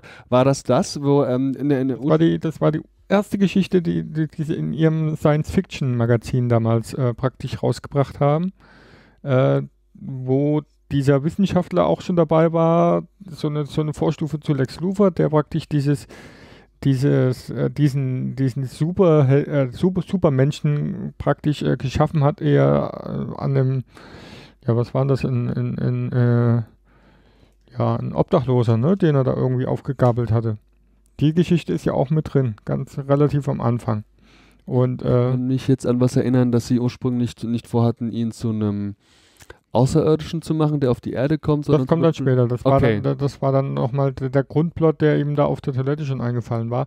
Da bin ich nämlich gerade in, in, in dem Ah ja, okay, alles klar. in dem Bereich. Ähm, genau, aber so die Vorgeschichte. Und dann fiel ihm halt das ein mit, die, mit dieser äh, Geschichte auf der Toilette und da äh, fließen dann ja nochmal so ein paar Einflüsse mit ein. Äh, äh, Flash Gordon oder hier auch Zorro äh, spielt ist mit dabei. Zorro, genau, die, diese doppelte Identität. Dann, äh, ähm, dann der Typ vom Master, wie heißt der? Der, äh. Flash. nee, der, der John Carter. Ah ja, Äh, der, mhm. den haben sie ja auch, da, das war ja auch so ein bisschen, der war halt einer, der von einem fremden Planeten kam und dann plötzlich äh, andere Kräfte hatte auf diesem anderen Planeten. Und ähm, genau, und das haben sie ja im Grunde dann nur umgedreht. Denn der ähm, Giancarlo kam ja ursprünglich von der Erde, ist auf den Mars gekommen und hatte da dann übernatürliche Kräfte. Und die haben es jetzt praktisch rumgedreht, dann irgendwann, weil ja dann Superman von Krypton kam. Mhm. Letztlich. Es wird kurz es wird erwähnt, woher der Name Lois eigentlich kommt. Das ist ganz Es gab, cool. gab glaube ich, sogar zwei, die so hießen, ne? So, wenn ich es richtig mitgekriegt habe. Ich weiß es Ja. nur von der Schulschönheit. Ja, die ist mir genau. Jetzt in Erinnerung Die ist die eine und dann gab es nochmal eine irgendwie bei der Schülerzeitung.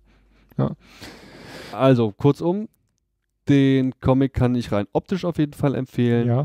Inhaltlich ist er, ist er auch schön geschrieben, hat, ähm, wie gesagt, ist, äh, ist schon, also ich würde ich würd tatsächlich sagen, das ist einfach eine Hausaufgabe, die man als Comic-Fan mal mitnehmen kann, weil ähm, da einfach Fakten geboten werden, die Biografie eines der ähm, wichtigsten Männer in der, für dam- in der damaligen Comic-Zeit, der äh, eine Arbeit geleistet hat, die bis heute der Comic- und Superhelden-Comics prägt und ähm, kann man sich auf jeden Fall mal geben.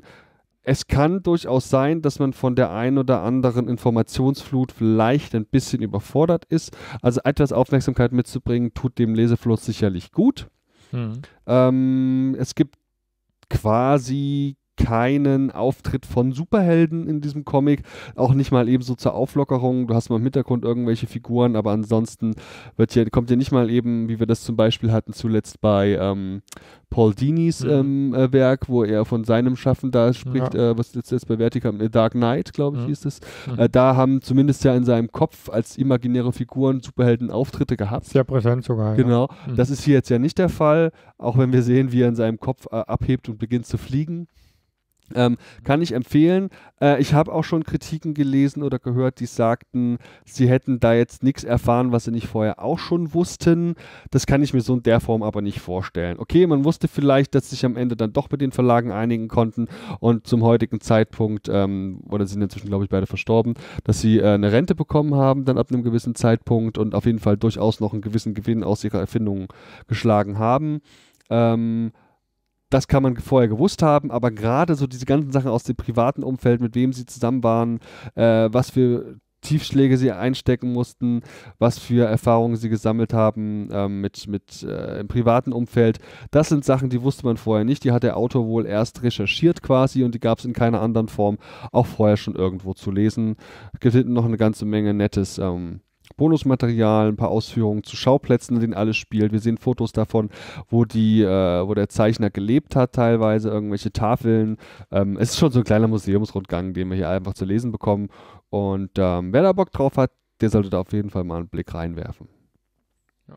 Das mit den Fakten ist gar nicht so schlimm, also diese Flut. Wenn du vorhin hast du gesagt, mit den Verlagen mit ähm, dann übernommen wurde von, den Eindruck, den du davon kriegst, ist, es war ein ganz schönes Verlagswirrwarr und das ist das, was damals war. Also wenn man das schon erfasst, dann ist das schon die Information, die mit dem ganzen Verlag hin und her, dann hat sich der Verlag umbenannt, das war damals der Vorgängerverlag und dann hat sich das hier rüber und so weiter.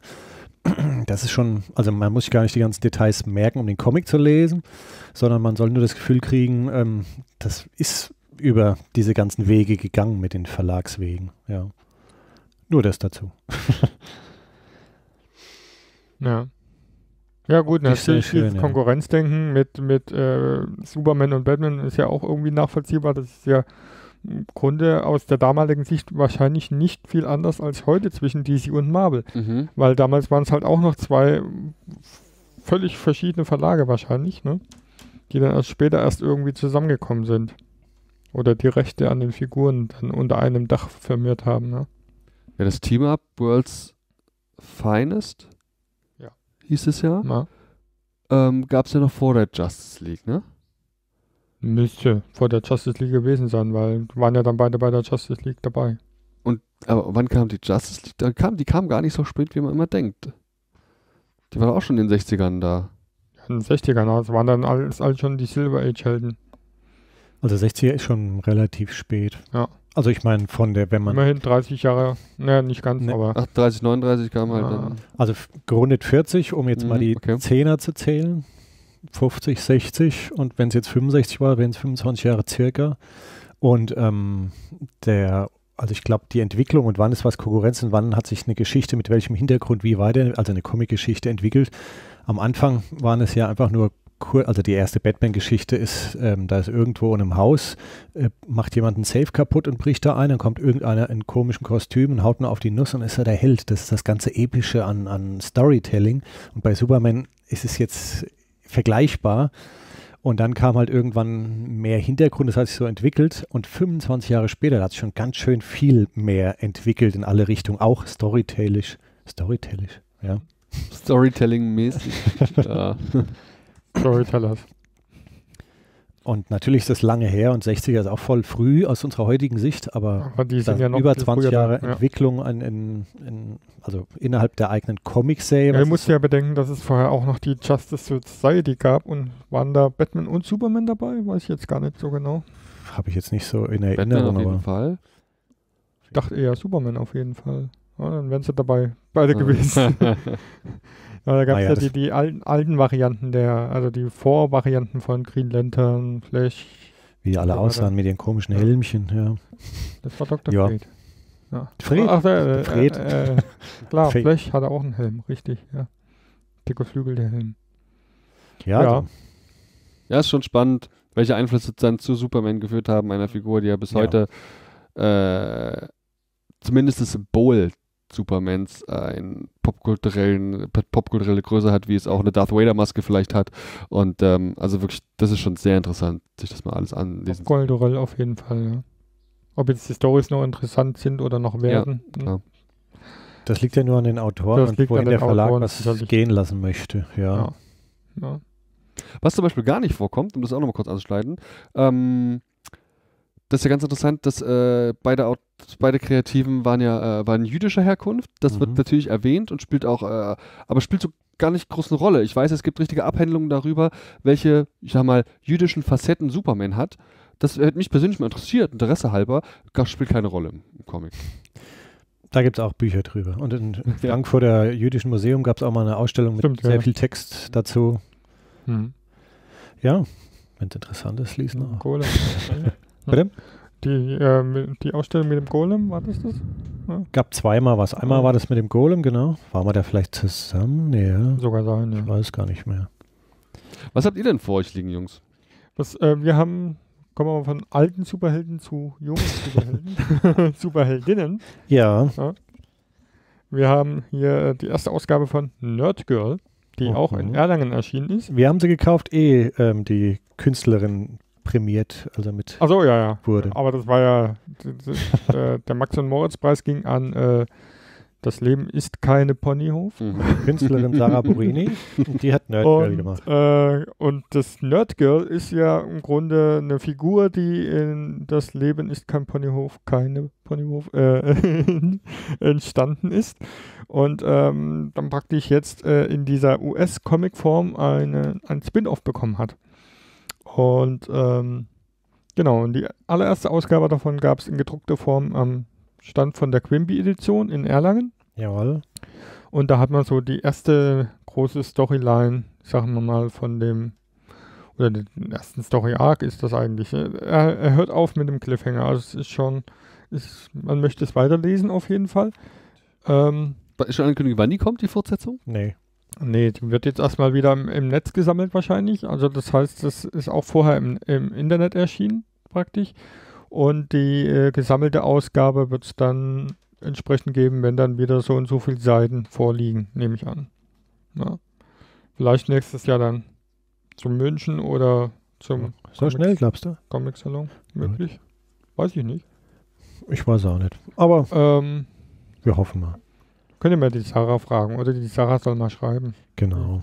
Also es ist von der Sarah ähm, geschaffen und Genau. die Farben hat die Ines Kort gemacht. Ah, mhm. Die erwähnen wir nur deshalb, weil die auch zu dieser Clique von Independent-Comic-Künstlern ge- gehört, Die, die im nur selben deswegen Eck erwähnen sitzt. wir die. Nein, die gehört Ja. erwähnt, weil Wird ja aktuell auch hier Massu, glaube ich, heißt es. die Farben Genau, sind sehr ja. schön. Also Das war auch da am, am Stand von der Quimby-Edition, ne? Saß sie damit, oder? entweder Ja, und- und oder gegenüber. direkt Und gegenüber. gegenüber. Nee, Quatsch, Also ich verwechsel das gerade mit Stuttgart. Da saß sie gegenüber, weil der schwarze Turm war nämlich auch da. ah, okay. So. Ja, aber da war in Erlangen war es ja ähnlich. Also Schwarze Turm war um die Ecke, also war es so. Ach, so war's, Das okay. ist super, wenn du das so machst. So, und ja. hier die Stellt durch die Lasche vor, ziehen, so. die kleinen Kurbel ganz nach oben drehen. Ja. Ja, ähm, dann Wollen rezensier wir, mal. wollen, wir, wollen wir mal über Nerdgirl sprechen? Was Ja. passiert denn da? Ja, ach so, ich dachte, du erzählst mir das. Das hast du auch gelesen. Kannst Ja, aber das ist der eine der ersten, die ich, äh, Ja, der ersten doch Erlang auch. Comics, die ich gelesen habe. Ich habe schon fast wieder den Ich Inhalt. ja auch in Erlangen selbst direkt verschlungen. Ich Aber schlag's mal auf. Also, es ist so, dass erstmal der, der Strip, wo die erstmals vorkam, von Das Leben ist keine Genau. Ponyhof, äh, nochmal kurz abgedruckt ist, damit wir da den Eindruck kriegen, dass das Mhm. eine, die ähm, Geburtsstunde. genau, die Geburtsstunde, eine ähm, mit, na, wie heißt das, mit Cape durch den Vollmond latschende, also hinterm Vollmond latschende ähm, Superheldin ist, die es nicht leicht hat. Und dann sehen wir gleich auf der ersten Seite ihr äh, Nerdgirl-Mobil, was im, im Grunde was ist. Ein Taxi. Ja. Ja, also jeder Superheld muss gucken, wie er zurechtkommt. Sie nutzt das Taxi, kommt nach Hause. Ich muss jetzt echt nochmal reinblättern, weil Ja, ich schon wieder was war Also, was ich, nur was ich vielleicht schon mal vor, vorwegnehmen kann, dass sie mehr oder weniger ohne ihre ganzen üblichen äh, Sidekicks auskommt, die sie da im Ponyhof mit dabei hat. Äh, sie hat hier einen eigenen Sidekick und zwar ist das ähm, eine Taube, die sie immer so ein bisschen auf ähm, Beobachtungstour schickt. So, so ein Spionageadler quasi. Ja, Eben in, in Form einer Taube. Wie hat sie den genannt? Irgendwas mit Wing. Ich weiß noch gerade nicht mehr wie. nicht X-Wing und nicht Spywing oder irgendwie so. Ich weiß es gerade nicht mehr. ich auch nicht. Ja. Ei, ei, ei, ei, ei. Jedenfalls, Das kommt bei raus. den sieht man auch schon auf dem Cover. Und äh, ja, sie findet dann irgendwelche Unregelmäßigkeiten an diversen Lebensmittelinstitutionen ihrer Skizes, würde ich jetzt mal behaupten. Also irgendwie an einem, an einem, äh, an einem Imbiss oder so, ne? Wird irgendwie eingebrochen. Genau, ja. Ja. Das, damit fängt es, glaube ich, an. Also das, oh, ich finde es jetzt gar nicht. Ich finde find doch die Waffle Watch so geil. Die was? Die Waffle Watch. Waffelwatch. Ja, natürlich gibt es auch schöne Gimmicks. Äh, ein Superheld hat halt immer Gimmicks und da hat sie ja natürlich auch ihren, ihren Entwickler, der da dran arbeitet und er hat eine Waffelwatch gebaut. Deathwing. Deathwing. Deathwing habe ich gefunden. Ah. Das ist Siehst du mal. Klingt ja episch einfach, ja. äh, episch für so eine Taube. ja. ja, Ja, erzähl du mal weiter, weil ich habe doch jetzt schon gut. erzählt. Ja, Viel mehr kann man auch gar nicht erzählen, erstens, ohne jetzt zu spoilern. genau, und zweitens ist es ja noch gar nicht abgeschlossen, das Genau. Abenteuer. es nimmt ja da erst so richtig Fahrt auf. Wie viel Superheldin steckt denn in Nerdgirl? Das ist jetzt ein, auf dem Poster zum Beispiel, das es in Stuttgart gab, da gab es eben angeblich gegründet auf der Tatsache, dass es ja auch die Liga Deutsche Helden gibt, haben sie eben andere Comicverlage zusammengeschlossen, ein Poster gemacht, auf dem unter anderem Nerdgirl, der Engel von Tompa, eben der Trachtman und viele weitere drauf waren. Wie viel Superhelden steckt in Nerdgirl? Äh, ich glaube, sie schätzt sich mehr als Superheldin ein, als was er im Endeffekt ist, oder? Oder als die Also- anderen sie erfolgreich darin. Genau. Also- ja, äh, also ich glaube, sie schätzt sich da ein bisschen, äh, überschätzt sich da so ein bisschen in, in ihrer Rolle. Hat sie auch Superkräfte? Hm. Weniger. Außer, außer ihren Nerdtum keine. Ja. Ja, also das ist so das, was man äh, Theorie, also da schon mal sagen kann, dass er sich da so ein bisschen zeitweise überschätzt. Ähm, was natürlich dann irgendwann äh, das hervorruft, was auch immer ein Superheld hervorruft, sind auch Supergegner. Das möchte ich jetzt hier gar nicht weiter Aber- ausführen, aber, Aber die überschätzen sich auch. die überschätzen sich auch. genau. Ja.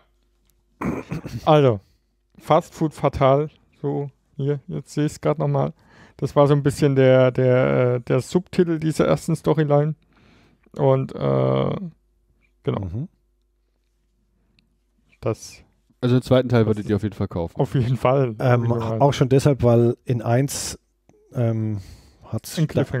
Start aufgenommen und dann geht es erst los. Das ist ja erst eine 2 dann, wie es weitergeht. Ja, äh, der, der, das Heft nimmt sich natürlich äh, viel Zeit um, um, um Nerdgirl in diesem Kosmos jetzt hier, der Find so ein aber gut. bisschen anders funktioniert als, Mhm. als der, den es vorher gab in, im, im Ponyhof. Natürlich das Kostüm und alles ist dasselbe, also das Outfit und alles ist, ist, ist definitiv diesem Nerdgirl nachempfunden, aber es nimmt sich hier einfach viel mehr Zeit. Wie gesagt, kommt auch ohne die ganzen üblichen anderen äh, Sidekicks aus. Habt dann einen neuen eigenen dabei. und nimmt sich halt Zeit, so diesen Status quo erstmal zu zementieren, auf, auf, aufzuzeichnen, was ist das überhaupt für eine Superheldin, auf was lässt sich der Leser da ein. Und dann, relativ am Ende des Hefts, passiert dann erstmal das, was äh, dann, wie du schon sagst, dann nimmt dann die Story richtig Fahrt auf und da ist es dann aber auch schon rum und man möchte unbedingt eigentlich mehr lesen. Genau. Also es, 4,99 Euro bei der Edition Quimby. Dicke Empfehlung. dicke Empfehlung. Dicke Empfehlung. Das dünne Heft, dicke Empfehlung. Ja. Ach, cool, dass es im Heftchen gekommen ist, oder? Ja. Ich finde generell Find ich- dieser find ich- Trend zu find ich Heftchen, cool. den ich bemerke. Ich bin jetzt eigentlich nicht so der Heftchenleser, weil ich eigentlich lieber auch mag, wenn dann sowas äh, schön gesammelt vorliegt. Also jetzt zum Beispiel bei Austrian Superheroes oder auch bei der, bei der, beim deutschen Äquivalent in der Liga Deutscher Helden. Da warte ich so immer ein bisschen auf den Sammelband. Aber bei sowas hier, da bin ich sehr gerne bereit. Oder auch bei Trachtmann, ähm, da mir so ein Heft mal Also beim Heft hast du halt ähm, portionsweise immer deinen Lesestoff, der viel näher an dem Entstehungszeitraum des Ja, Künstlers ist. Das heißt, auch genau das, was hier wieder passiert ist. Du liest dich gerade richtig rein und schwupps ist es schon vorbei. Ja, aber wenn das Ja. ein Paperback ist, hättest du nicht mal angefangen zu lesen. Wahrscheinlich. Paperback kaufst du, tust du auf den Stapel mit, will ich in den nächsten 27 Jahren mal lesen. Und das Heft hast du schon Möglich. gelesen. Möglich.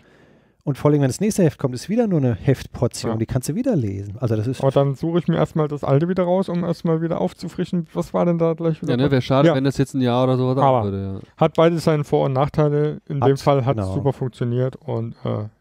Hab's ja auch relativ schnell gelesen, nämlich direkt in Erlangen. Ich glaube, ich habe es auch schon in Erlangen gelesen gehabt. Aber das ist ja wahrscheinlich den Zuhörern eh wurscht, wo ich es gelesen habe.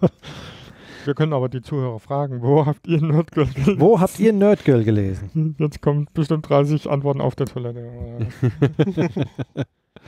Online oder im Druck? Ja, Online oder im Druck. das auch, Mhm. ja. Also wegen mir könnte es Oder beides. Ja. Oder beides? Ja. Was hast du als nächstes? DD. Ich habe auch noch was, was Dünnes, aber du kannst auch erstmal, wenn Also bei mir liegt als nächstes was ein bisschen dickeres. Ich will gar nicht Genau. zu viel erzählen. Ich, hab, ich dachte, ich rob's mal so ein bisschen schneller ab, weil sonst ähm, kennt man mich eher, dass ich 27 Stunden erzähle. Und jetzt Allein das Vorwort dauert schon. Genau. Also ich habe hier ähm, nicht alles, was ich in Erlangen gekauft habe, auf meinem Stapel, weil ich habe teilweise Jetzt machst aber einen Bruch. weggeräumt und jetzt hier liegt als nächstes äh, der Unterwasserschweißer. Es gibt noch den Jeff Lemire, den gibt es schon eine Weile und auch das Buch gibt es auf Deutsch schon eine Weile und ich hatte es bisher noch nicht gekauft, weder auf Englisch noch auf Deutsch. Was, Ich äh, bin- jetzt kommt ein flacher Achtung. Was ist denn das Wichtigste beim Schweißen? Na? Ah ja, das wäre wahrscheinlich. Okay. Sonst hieß es ja der Unterasser-Schweißer. Das wäre blöd. Sehr gut. Es- Ich, schwöre euch, hier steht kein Bier auf dem Tisch. nee, das macht Eistee mit mir. mir. So, Also der Jeff Lemire hat irgendwann mal angefangen und voller Respekt haben die Leute Essex County positiv rezensiert und bewertet und kritisiert. Und ähm, dann hat er weitergezeichnet, weitergeschrieben. Früher hat er mal alles beides gezeichnet und geschrieben. Heutzutage gibt es auch Sachen, die er nur zeichnet, die er nur schreibt. Und ähm, das kommt noch aus der Zeit, als er einfach sein eigenes Ding gemacht hat. Und da gab es mal so Underwelder Shelter, das heißt auf Deutsch Unterwasserschweißer. Und ob ihr es glaubt oder nicht, schreibt in die Kommentare, ob ihr es glaubt oder nicht, es ist wahr. ich habe den Comic jetzt in Erlangen gekauft und vorher noch nicht gelesen gehabt. Ich lese ihn jetzt zum ersten Mal und habe damit ein, ja aus meiner Sicht ist es noch ein Frühwerk von ihm, jetzt erstmals nachträglich gelesen. Den hat Mal- er auch gezeichnet, ne? Den hat er auch gezeichnet, genau. Und das sieht man auch. Und ich höre immer wieder die Leute sagen, die, die sowas ihm zugestehen wollen, wie, nee, der hat schon was, der hat schon was, aber er zeichnet hässlich. Sag mal, seid ihr blöd. Ähm, es ist, Doch, es, Geschmackssache. es ist Geschmackssache. Und ähm, ich würde es gar nicht beschreiben als hässlich, sondern ähm, wer den Comic liest und merkt, was für eine Wirkung diese Zeichnungen haben, das geht nur, weil es so gezeichnet ist, wie es gezeichnet ist. Und hässlich ist das auch nicht. Ich glaube, ich weiß, was die mit dem Wort hässlich meinen. Es ist nicht so dieses ähm, Standard ähm, High-End gezeichnet und Standard High-End koloriert, sondern der Comic ist sogar noch schwarz-weiß. Das gefällt mir ja auch immer noch ganz gut, was, was da für eine Wirkung bei rüberkommt, die bei Farbe manchmal verloren geht. Es ist eine in sich abgeschlossene Gesicht Geschichte, hat viele Seiten, Mal gucken, ob ich das schnell sehe. Äh, über 220 Seiten und erzählt einfach, ähm, ja, also man sagt immer, dass es gibt so die autobiografischeren Geschichten von ihm und die weniger autobiografischeren Geschichten von ihm. Es ist gar nicht autobiografisch, aber es hat Elemente, die er aus seinem Privatleben hier mit einarbeitet. Also irgendwann mal äh, stand ihm mal sein erstes Kind bevor und da hat er Sachen mit hier verarbeitet, weil dem Hauptcharakter, dem steht auch ein Kind bevor, seine Freundin oder Frau ist schwanger. Er ist ein Schweißer, ein Unterwasserschweißer und geht im Wahn seiner Arbeit nach, die so wichtig sei, was er auch seiner Frau gegenüber immer erklärt. Ähm, aber im Prinzip sieht es diese Tage so ein bisschen so aus, als flüchtet er vor irgendwas. Ähm, zum Beispiel weiß er gar nicht, wie er umgehen soll mit dem, was da jetzt auf ihn zukommt, weil er es noch nicht kennt. Aber ja, muss man gar keine Angst haben. Aber man kann auch ein bisschen unter Wasser schweißen. Mhm. Ähm, das ist wohl nicht nur seiner Frau so ein bisschen äh, unbewusst klar, sondern auch seinem Arbeitgeber. Und dann bricht er irgendwann mal, äh, ich weiß gar nicht, ob das jetzt nachts ist, ähm, irgendwo hat er dann auf einmal den Drang.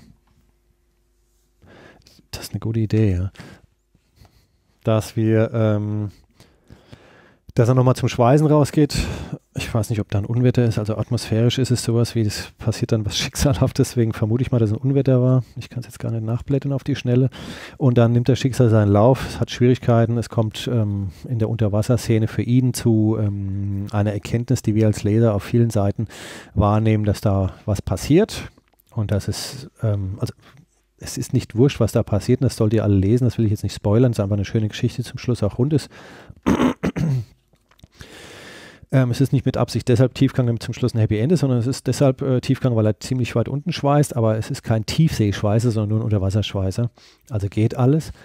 Aber wenn ihr das lest, mit Lesen meine ich gucken und Text lesen und ganz viel gucken und aufnehmen und wahrnehmen und die Blicke der Frau, die Blicke, ähm, das geht ja nicht nur bis, bis zu deinen Augen und wenn du Glück hast, noch bis ins Gehirn, sondern das geht bis ins Herz. Also das ist so ein schöner ähm, Comic, wie der wirkt auf den Leser wenn man für sowas bereit ist, es gibt Superheldenleser, die sagen, äh, das, was der äh, Bendis da äh, auf 24 Seiten beschreibt, ist, wie der Spider-Man einmal in seinen Cape schlüpft äh, ich will Action, ich will Action. Äh, manchmal geht es auch darum, wie was passiert. Und ähm, eigentlich geht es immer nur darum, also einfach nur jemand, der äh, ewig immer nur irgendjemanden ja, durch die Häuserschluchten schwingend verfolgt und dann zur Strecke bringt.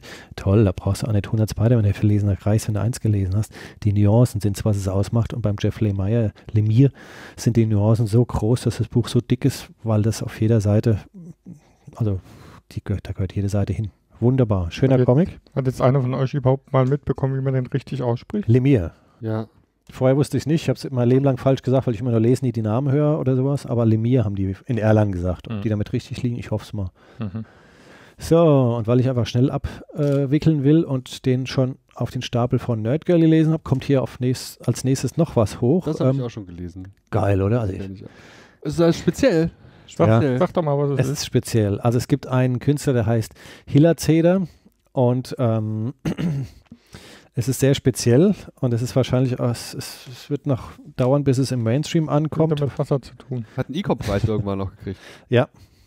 Also ähm, der Künstler war in Erlangen und hat sein aktuelleres Werk vorgelesen, äh, vorgelegt, aber davor gab es schon mal eins. Jetzt ist die Frage, welches zuerst war. Also jetzt habe ich hier als nächstes liegen, als ich mal auf hoher See verschollen war, das ist der Titel. Und die Handlung ist, der Hauptcharakter war mal auf hoher See verschollen und wir kriegen mit, was da so passiert ist und wie es passiert ist. Aber äh, glaubt nicht, dass ihr da irgendwas mitkriegt. aber er, der Autor als Erzähler äh, verpflichtet sich ja gewissen Erzählregeln und hat auch Kniffe, die, ich habe es gar nicht recherchiert, ich habe gar nicht nachgelesen, die er benennt, wie man eine Geschichte dann ähm, anders erzählen kann. Ähm, es gibt zum Beispiel im Story-Erhaltungsgesetz von Lomonosov Vielleicht gibt es das sogar wirklich, das habe ich nicht recherchiert, aber es klingt so, als könnte es wirklich schlüssig sein und gehen. Aber nach diesem endet diese Geschichte und das ist, also ich finde es genial. Es ist genau sowas, was ich eigentlich ohne zu suchen immer finden möchte. Und obwohl andere vielleicht vermuten, dass mein Highlight auf diesem Erlangen-Salon was anderes war, ähm, ist das hier die Entdeckung von Hillerzeder, äh, mein Highlight vom Erlanger Salon. Mhm. Es ist ja relativ absurd, muss man mal so ganz konkret sagen. Du hast ja zum Inhalt jetzt noch gar nicht so viel ausgeholt. Es hat, also zu behaupten, es hätte absurde Züge wäre untertrieben. Also es gibt ja schon ganz absurde Momente. Hat dir das zugesagt? Ja, also ich finde schön, dass du das Wort absurd sagst, weil mir fehlt für sowas immer das, der Begriff, weil mir, ich finde, ähm, ob das eigene Leben zum Beispiel absurd ist oder nicht, das liegt an der eigenen Perspektive und was du zulässt, wie du dein Leben betrachtest. Und ähm, es ist absurd wahrscheinlich, ja. Ähm, das sagt mir voll zu, weil ähm, das ist ja eine erfundene Geschichte. Also ich meine, es ist ja, ähm, ja, ich schlage ein Buch auf, lese eine Comic-Geschichte und das tue ich bei anderen Comics auch. Und was da drin ist, das ist immer vom Autor das, was er mir zeigen, präsentieren möchte. Und da ähm, ist das hier eine geniale Variation ähm, und die ist mehr wert als die Variation zwischen Spider-Man-Heft. Also natürlich hat Spider-Man auch Qualitäten und es kommt auf den Autor drauf an, auf welches Jahrzehnt und so weiter, aber ähm, alles über einen Kamm geschert, Superhelden, bla bla bla. Spider-Man Heft 237 und Spider-Man 847, ähm, wo ist da die Variation? Also alleine vom Cover her, der Spider-Man schwingt mal hier lang, mal da lang. Gerade die ähm, Ultimates-Cover, die sehen alle, also wenn man nicht genau hinguckt, alle gleich aus. Der Spider-Man schwingt immer. Und ob da im Hintergrund jetzt gerade ein Auto ist oder eine Häuserschlucht oder irgendwas, ähm, dass du jetzt fast Copy and Paste machen können mit dem schwingenden Spider-Man.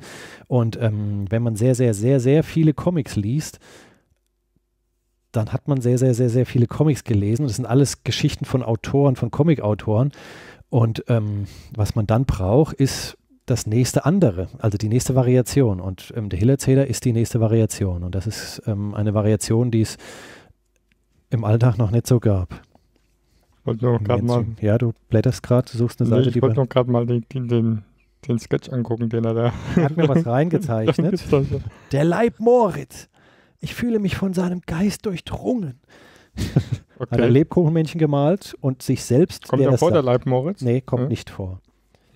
Es gibt von ihm noch, ich weiß nicht, ich glaube die Fortsetzung, du hast gemeint, du hast noch was Zweites da, Genau. weil ich kenne noch zwei Werke von Ach ihm. so, warte mal, jetzt von der Reihenfolge vom. Wieso habe ich denn das jetzt wieder da hingelegt? Also, Das ist ein Durcheinander hier. also das Noch. zweite Buch, was ich mir auch gleichzeitig gekauft habe, und da steckt auch eine Karte von ihm drin. Also es gibt noch ein Spiel von den Independent-Sachen und da gibt es eine Karte und diese Karte ist der Mexikaner. Und der Das hier aus dem- Mexikaner. Aus dem, Aus Spiel mich, was Ah, hat mich, gemacht. genau. Ja, ja. Und der Mhm. Mexikaner ist ein Charakter, der in den Comics vorkommt, der Ja, bis das- jetzt das- noch das nicht war aufgelöst ist, was sein Origin und sonst was ist oder was, warum der überhaupt da ist. Aber vieles ist noch gar nicht erklärt, warum es überhaupt da ist. Und das ähm, ist fast so, wie wenn du ins Leben geschmissen wirst. Also was äh, die Leute an Studio Ghibli, dieses Zeichentrickstudio aus Japan, so lieben, ist, dass da erstmals die Zuschauer akzeptieren, wenn da einfach mal eine Sache gegeben ist. Also hinterfragt doch nicht immer alles. Äh, wenn die Origin zu lang ist, hört eh keiner zu. Und wenn sie nicht erklärt wird, fragen sich die Leute immer was hier ist es auch so, dass vieles, also man wird da erstmal wo reingeschmissen, weil als ich plötzlich äh, in der Wüste gewesen bin, sagt schon der Titel, du wirst da reingeschmissen, als du plötzlich mal in der Wüste gewesen bist, also der Charakter. Mal gucken. So, und im nächsten Buch hat er mir auch was reingezeichnet. Ah, cool. Mein 35. Leibbrot, sagt da ein futuristischer Hehlerzähler zu einem fliegenden Leibbrot. Mhm. Und das ist äh, wahrscheinlich mit Asur absurd genau das richtig bezeichnete, aber es sind Geschichten, wo jemandem was passiert. Und das ist nicht anders als in jedem anderen Comic. Mhm. Und ähm, die Geschichten, die hier passieren, das basiert immer alles auf Logik oder auf äh, Antilogik. Und Antilogik ist nichts weiter als Logik. Das ist so wie eine Gutschrift ist nur eine negative Rechnung. Und ähm, das ist ähm, einfach Storytelling. Das ist genial. Das ist nämlich mal variiert. Das ist mal anders. Und es ist sehr unterhaltend. Und das ist ein Punkt, den ich beim Comic immer wieder gerne ähm, entdecke, wenn was unterhaltend ist. Also mich hat der Comic sehr unterhalten. Ich finde das saugeil. Mhm. Ich finde das sehr cool. Baut der auf auf dem, der davor, auf dem, also auf dem anderen? Nicht direkt, also es, es scheint jetzt vom Titel her genau das Gegenteil zu sein irgendwie, ne? stimmt. Also das eine ist eine kürzere Geschichte, die glaube ich mit dem einen Band abgeschlossen ist. Mhm. Ähm, und das war's. Und das andere ist, ähm, ich weiß gar nicht, welcher jetzt welcher ist. Das eine geht dann demnächst weiter. Der hier geht demnächst weiter. Mhm. Genau. Also ähm, als Da er plötzlich mal mehr zu erzählen. in der Wüste gewesen bin, ist äh, Band 1, steht hier bestimmt auch irgendwo da, Band 1. Und er ist jetzt demnächst, also ähm, online. Es ist, glaube ich, auch ein Comic, der zuerst online erscheint. Da schon sind wir wieder bei. Mhm. Ja gut, dadurch, dass bei der Edition Quimby erschienen ist auch äh, sehr wahrscheinlich, ne? Mhm. Weil da ja sehr viele Online-Sachen. Sachen kommen, die werden. vorher irgendwie online Genau. Da waren. Und die Figuren, die auftauchen, das ist so wie äh, Ja. bei Dragon Ball, bei Mangas, bei, bei Fantasy-Sachen, da taucht da gerade bei so, ähm, ähm, bei, das sind oft Genre Fantasy, bei Geschichten, wo jemand in einer fremden Welt ist und er begegnet einem nach dem anderen, einem Ort, einer Figur, die eine Figur begleitet ihm, die andere Figur taucht später wieder auf, ist genau gleich. Also ähm, das ist gar nicht so absurd. Das Einzige, was halt absurd ist, es ist mal ähm, an einem Ort, an eine, äh, die wir jetzt so noch nicht kennen, Fantasy. Ort, wo die so noch nicht kennen, ist alles anders. Und das ist hier auch. Hm, Mal ein paar komische Figuren zwischendrin. Also das Einzige ist halt, ähm, es wird behauptet, dass es Bremen sei und wir als Ah, ja. Leser erkennen da noch nicht so viele. Ähm, Ich glaube, Bremen, Bremen ist ein Running Gag bei ihm. Bei dem anderen spielt Bremen auch Genau. eine Rolle. also ich habe jetzt noch gar nicht recherchiert, was mit Bremen angefangen hat. Das Einzige, was ich intuitiv äh, mich pseudo erinnernd dachte, ähm, vielleicht könnte es sein, dass, ähm, vielleicht wird das ja irgendwann mal, äh, vielleicht hat er irgendwann mal als Bre die Stadt Bremen einen Comic-Wettbewerb gemacht hat, vielleicht hat er irgendwas eingereicht, was er Zwangsbezug zu Bremen gesetzt hat, aber das weiß ich gar nicht. Keine Ahnung, wahrscheinlich nicht. Vielleicht hört er eigentlich, hört der Herr Hillerzeder eigentlich auch Podcast? Der soll mal diesen hier hören und soll mal in die Kommentare schreiben, was es, äh, ob Bremen irgendwas. Apropos Podcast, ich würde einfach mal ganz kackdreist nochmal ähm, auf einen, einen dritten, auf einen weiteren Podcast hinweisen, der auch noch eine Hillerzähler-Ausgabe ähm, Erzähl. hat. Und zwar gibt es noch ein Werk von ihm, Mertens. Das ist jetzt ganz, ganz, ganz das ist neu. das ganz aktuelle. ja, Nur so viel hat 10 von 10 Punkten bei Comic Review bekommen. Mhm. cool. Rat mal, wer den gerade schon frisch bestellt hat und wo das Paket Uh. unterwegs ist. Ja, Eventuell. Naja. bin schon gespannt. Aber ähm, die Rezension, die schreibt so wie, er gibt es einen Berg. Keiner schreibt, dass das jetzt so neu ist, dass ich es bis jetzt noch gar nicht gesehen hatte. Und jetzt auf einmal gibt es das. Und äh, ich, keine Ahnung, wie lange es das schon gibt, aber ich glaube, es ist relativ neu. Das ist meine Erlangen-Entdeckung Nummer eins, ja. Also das ist Das, was ich, genau, was ich in Erlangen will. Ich will Sachen, die ich noch nicht kannte, Sachen, Was hätte man denn erwartet, was deine Entdeckung Nummer 1 ist?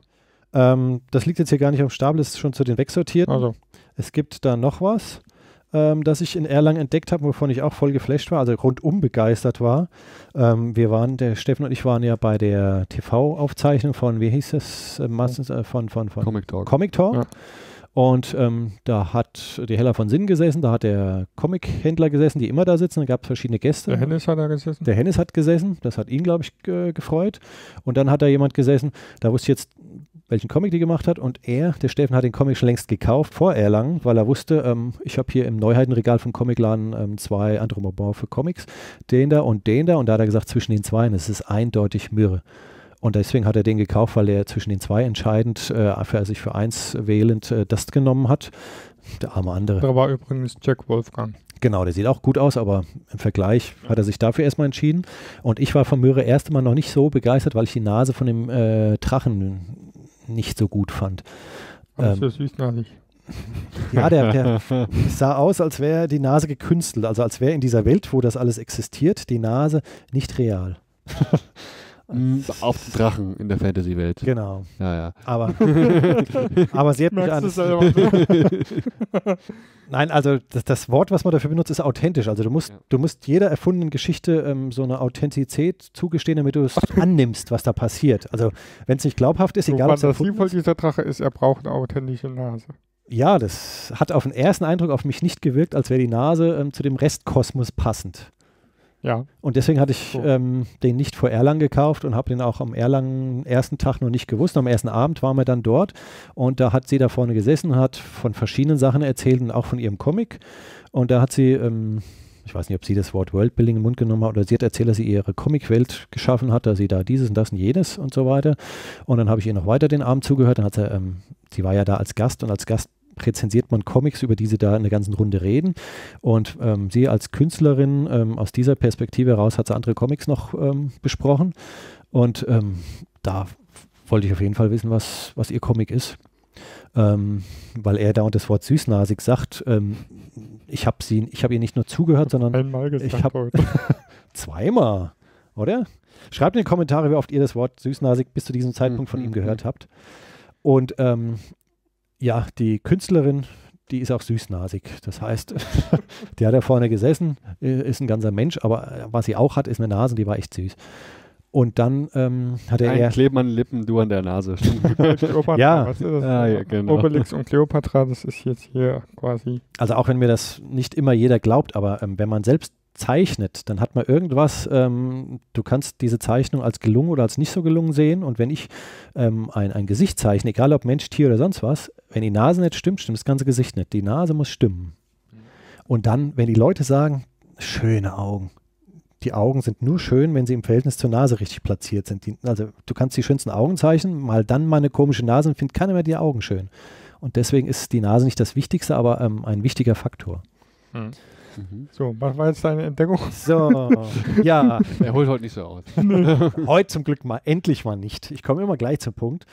Ähm, der Comic Myrrhe hatte ich dann auch ähm, abends ähm, mir nochmal auf dem Hotelzimmer sein Exemplar an durchgeblättert und habe dann festgestellt, den werde ich mir auch kaufen. Dann habe ich mir gekauft und dann haben wir uns beide auch beschlossen, wir stellen uns auch in die Schlange an. Das habe ich jetzt äh, vor ein paar Jahren mal aufgehört, weil in der Schlange anstehen heißt, du stehst viele Stunden an einem Ort, bewegst dich kaum und kriegst den ganzen Salon nicht mit, weil du nur in dieser blöden Schlange stehst. Ähm, aber wir haben es mal gemacht und wir kamen auch gar nicht dran. Wir haben zwei Stunden Schlange gestanden, um nicht dran zu kommen. Aber er hat die Zeit sinnvoll genutzt und hat in den zwei Stunden den Comic gelesen. Und ich habe was anderes gemacht. Ich habe ihr so ein bisschen, bin ich mir so wie auf die Nerven gegangen. Ich habe Mhm. gedacht, wenn ich da schon in der Schlange stehe und ich will auch ein bisschen was, da habe ich ein bisschen gestalkt. Ja, ich, Bisschen ist gut. sie ist ja sehr professionell. Ich hoffe, sie nimmt es mir nicht übel. ja, sie hat es Bist auf, auf der roten Liste jetzt. Ja, wahrscheinlich. Naja. Also ich habe mich, ja, ich habe versucht, die Zeit ähm, nicht ohne irgendwas verstreichen zu lassen. Du hast ja sinnvoll genutzt, hast ihn, in den zwei Stunden hat er den dicken, fetten Comic komplett gelesen. Als er dran war, hat er den Comic gelesen. Muss man fair, fairerweise jetzt Also auch zu sagen, durchgelesen. war jetzt nicht so viel Text drin, was Ja, bei dem Comic aber ja nicht schlimm ist, weil da die Bilder sprechen. also ich habe ihn erst Äh, danach gelesen, als ich wieder zu Hause war. Ja. Und habe ihn in aller Ruhe gelesen, habe auch so Hintergrund, Vordergrund, ähm, Hm. Story und alles und Aufbau berücksichtigt. Ähm, also das ist ein sehr, sehr, sehr guter Comic. Also damit ist sie eine sehr, sehr gute Künstlerin. Soll gerade so weitermachen. Ähm, in Erlangen den sie- Namen übrigens schon gesagt von ihr, Claudia Schmidt, ne? Nee, haben wir noch nicht gesagt. Ich wusste jetzt nicht, ob ich äh, Elektra Fencer sagen soll oder Claudia Schmidt, deswegen habe ich den Namen einfach weggelassen. Aber es stimmt, man muss es schon sagen. Sie hat einen Künstlernamen, womit sie in der virtuellen Welt bekannt ist, das ist Elektra Fencer. Und ähm, sie heißt Claudia Schmidt und äh, auf dem Comic steht auch Claudia Schmidt drauf bei Splitter. Unter dem Namen hat sie auch bei Splitter dann signiert. Ähm, wir kamen in der zwei Stunden Warteschlange stehend äh, nicht dran, kamen dafür am Folgetag dann als eine der ersten dran. Nur um das auch noch aufzulösen, sonst denken ja die Leute, wir wären nicht dran gekommen. Wo ich aber am ersten Tag direkt drangekommen war, äh, war zum Beispiel Kult-Comics. Jawohl. Äh, da wollte ich auch unbedingt hin zu Erik, äh, der exklusiv für den Comic-Salon äh, eine neue, kleinere Ausgabe von DD, seinem äh, ähm, Detektiv, äh, rausgebracht hat. Und ähm, ja, die Vorgängerbände waren alle bei Epsilon erschienen und das war jetzt der erste DD-Band, der bei Kult Comics erschienen ist. Ist halt so ein A5-Querformat, also quasi wirklich ein halbes A4.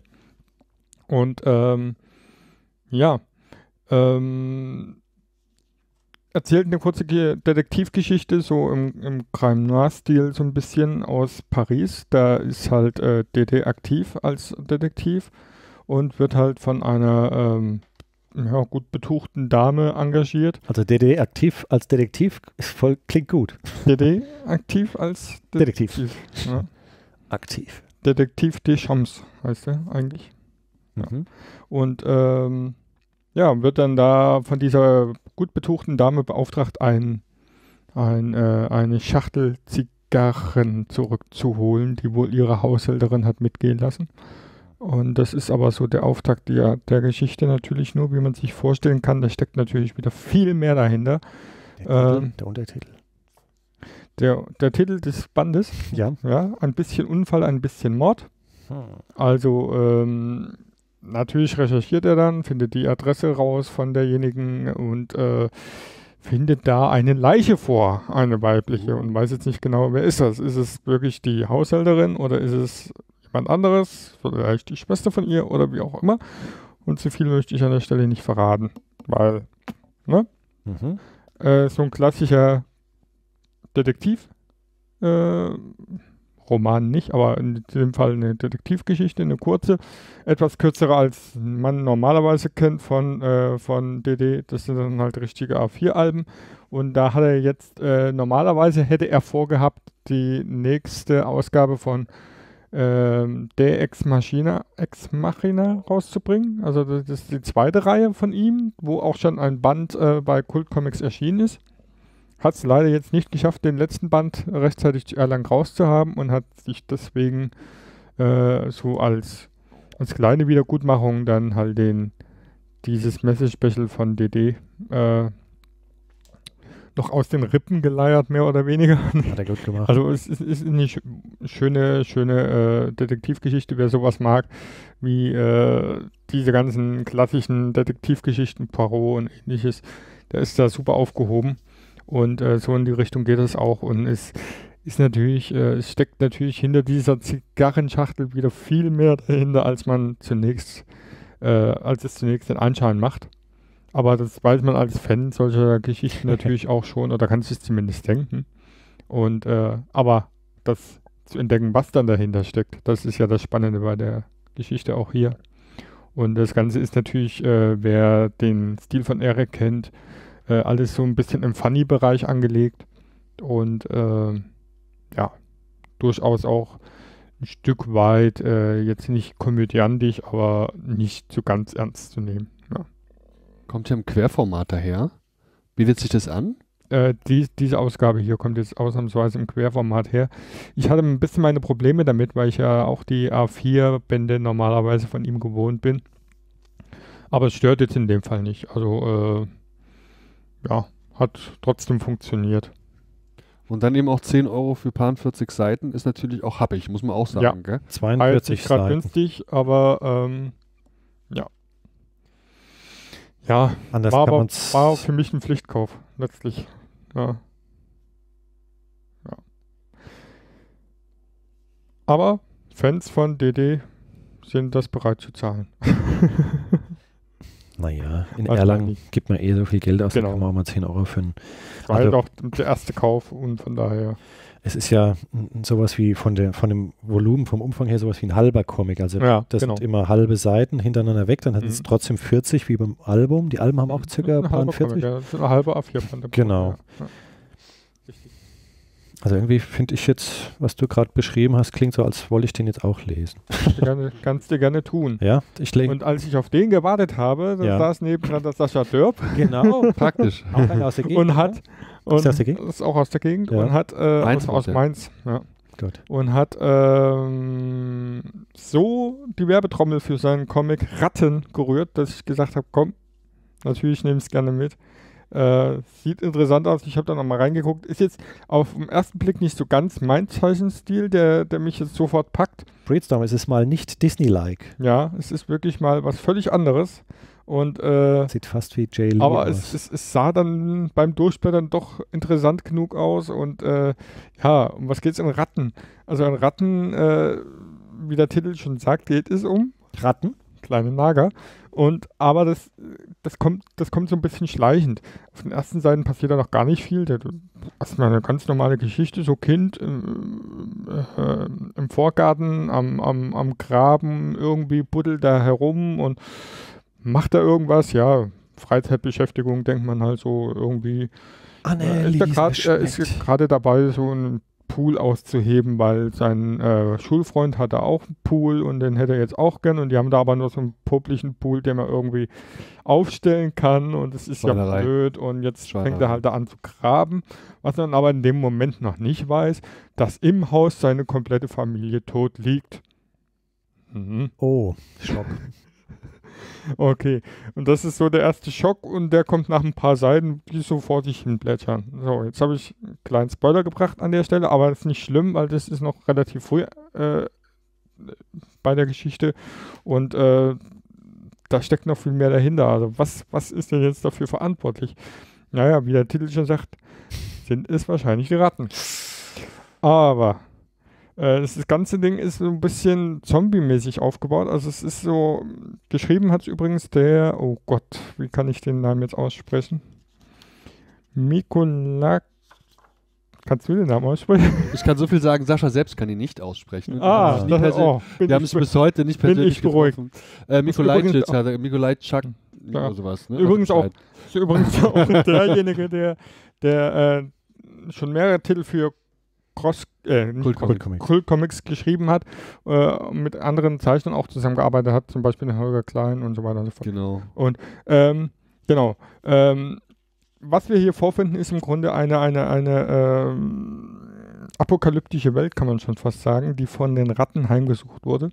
Und äh, anders als in anderen äh, Geschichten sind es halt diesmal ausnahmsweise nicht die Zombies, die dafür verantwortlich sind, sondern eben tatsächlich die Ratten. Und das spielt so ein bisschen so als Backup-Story so äh, der Rattenfänger von Hameln mit rein und äh, daraus wird so eine Welt konstruiert, die, die, die einen schon so ein bisschen verstört. Also mich hat es ein Stück weit verstört. Oh Aber- nein. Nee, gar nicht so schlimm jetzt. Ich fand es also verstörend, aber interessant, äh, Mhm. die Herangehensweise.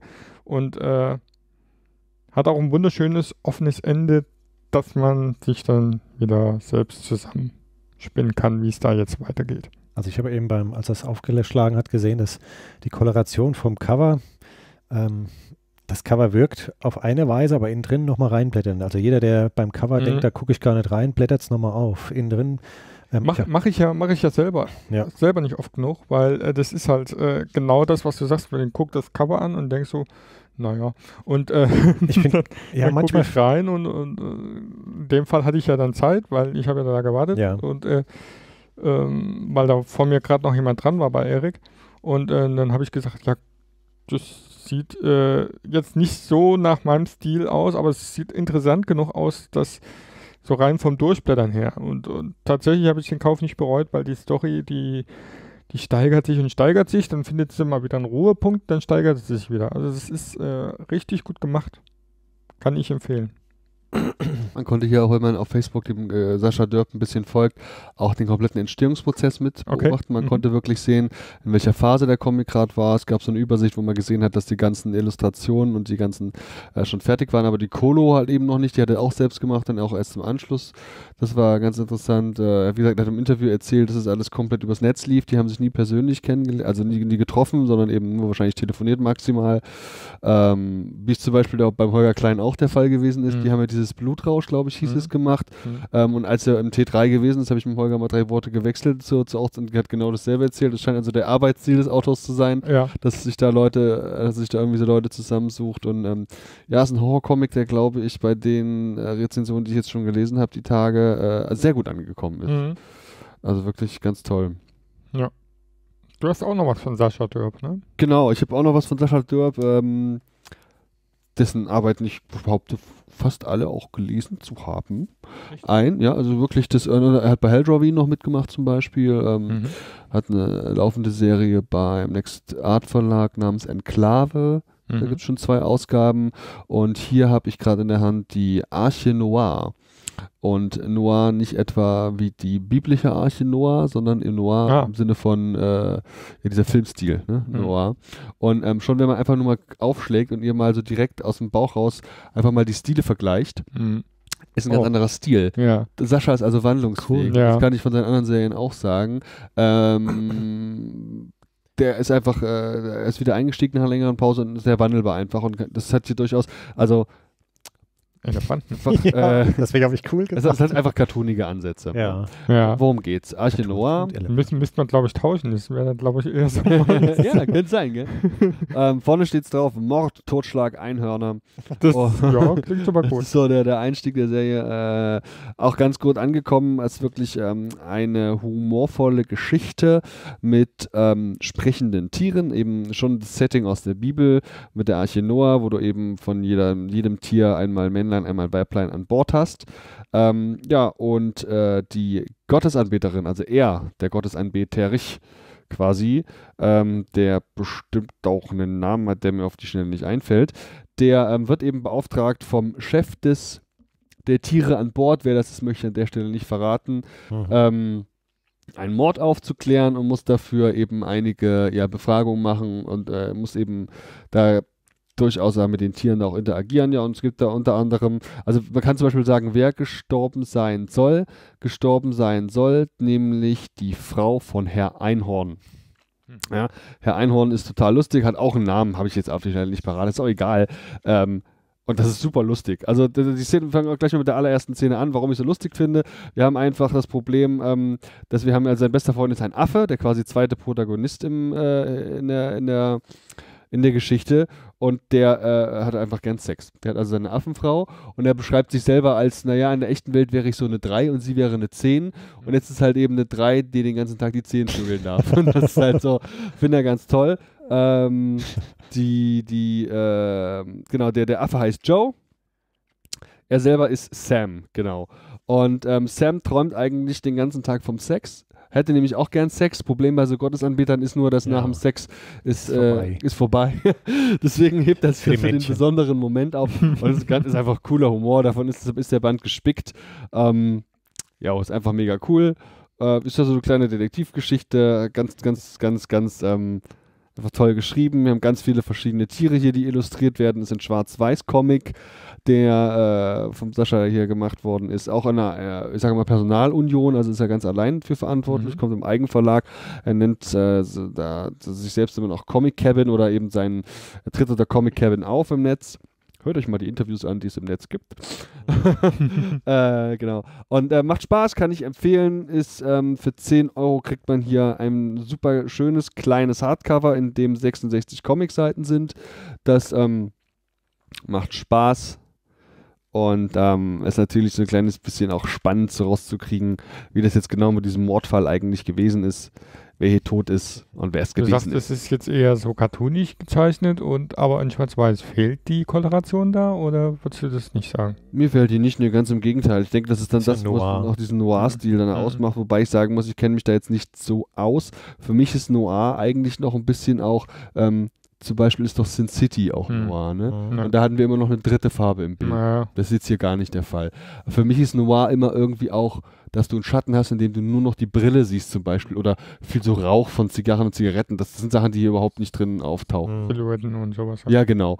Ähm, das, das ist jetzt, oh, habe ich jetzt in der Form nicht. Ähm, hat ein tolles Vorwort von, ähm, hier, wie heißt der, Kurt?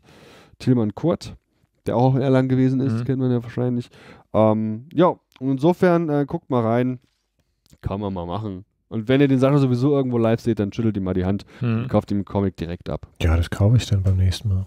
Ja. Ja. Cool. Klingt auch cool. Prima. Ähm, wir sind wir einmal so im Kreis gerade, oder? Ja. Bin ich dran? Oh. Und kannst, kannst Genau. du gerne.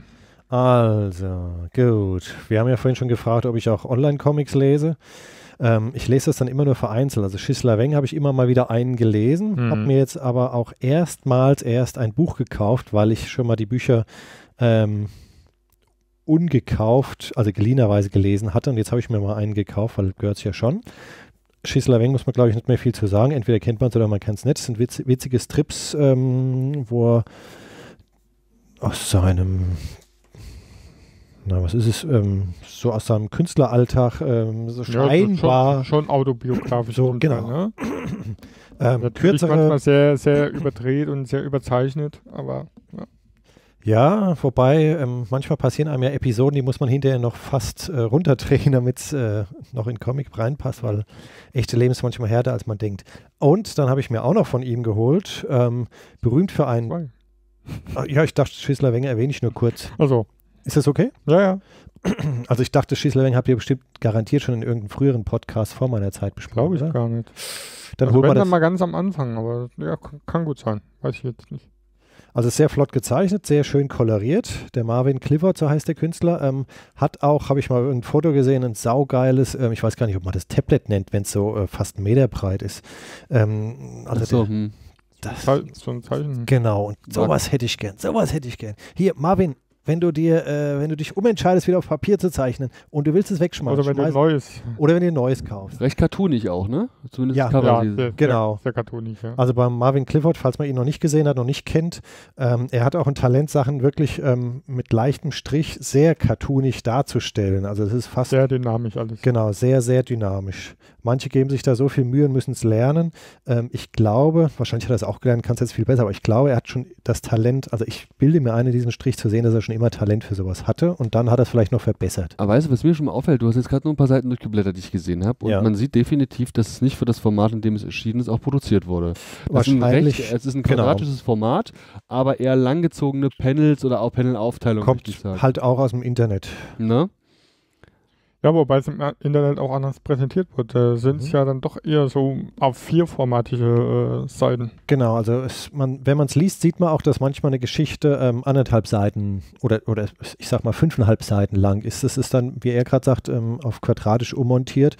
Stört jetzt hierbei nicht, aber man merkt es, dass es nicht pro quadratische Seite gedacht war. Oft, manchmal passt es auch. Ja, und was man auch merkt, ähm, wir waren ja in Erlangen, wir waren ja bei ihm am Stand, wir haben ja ähm, was zeichnen lassen, uns unterhalten, signiert. Ähm, er zeichnet da auch seine Lebensgefährtin, Mhm. die war auch am Stand. Ja, Oder? die da nicht mehr. Die, die nicht mehr, aber ähm, Aha. er hat ein Beuteschema, das erkennt man. Okay, ja, das ja. das definitiv. Ich habe den ersten Band gekauft, in also der den- liegt schon eine ganze Weile in zurück. den aktuellen äh, Schüsslerwings, die es online gibt, Da ist ist- es, ist, sieht sie zwar ähnlich aus, aber ist eine andere. Ja, genau. Ohne Ähm, da jetzt zu tief ins. Äh, Marvin, ja, denk mal über dein Lebens... Also, also echt jetzt. So, was...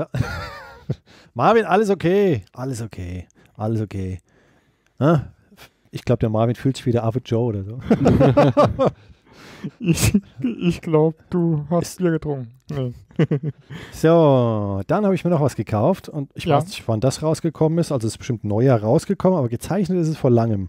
Berlin 2016 steht hier im Impressum. Ähm, berühmt für einen Tag von Marvin Clifford. Und Das ist ein Werk, der hat irgendwann mal was äh, vorgehabt und hat dann auch gemacht und hat, ich glaube, das ist eine Studienabschlussarbeit oder Hat er sowas. nicht neulich mal bei, bei dir einer was gesagt zu? Äh, in Erlangen, ja, doch, der.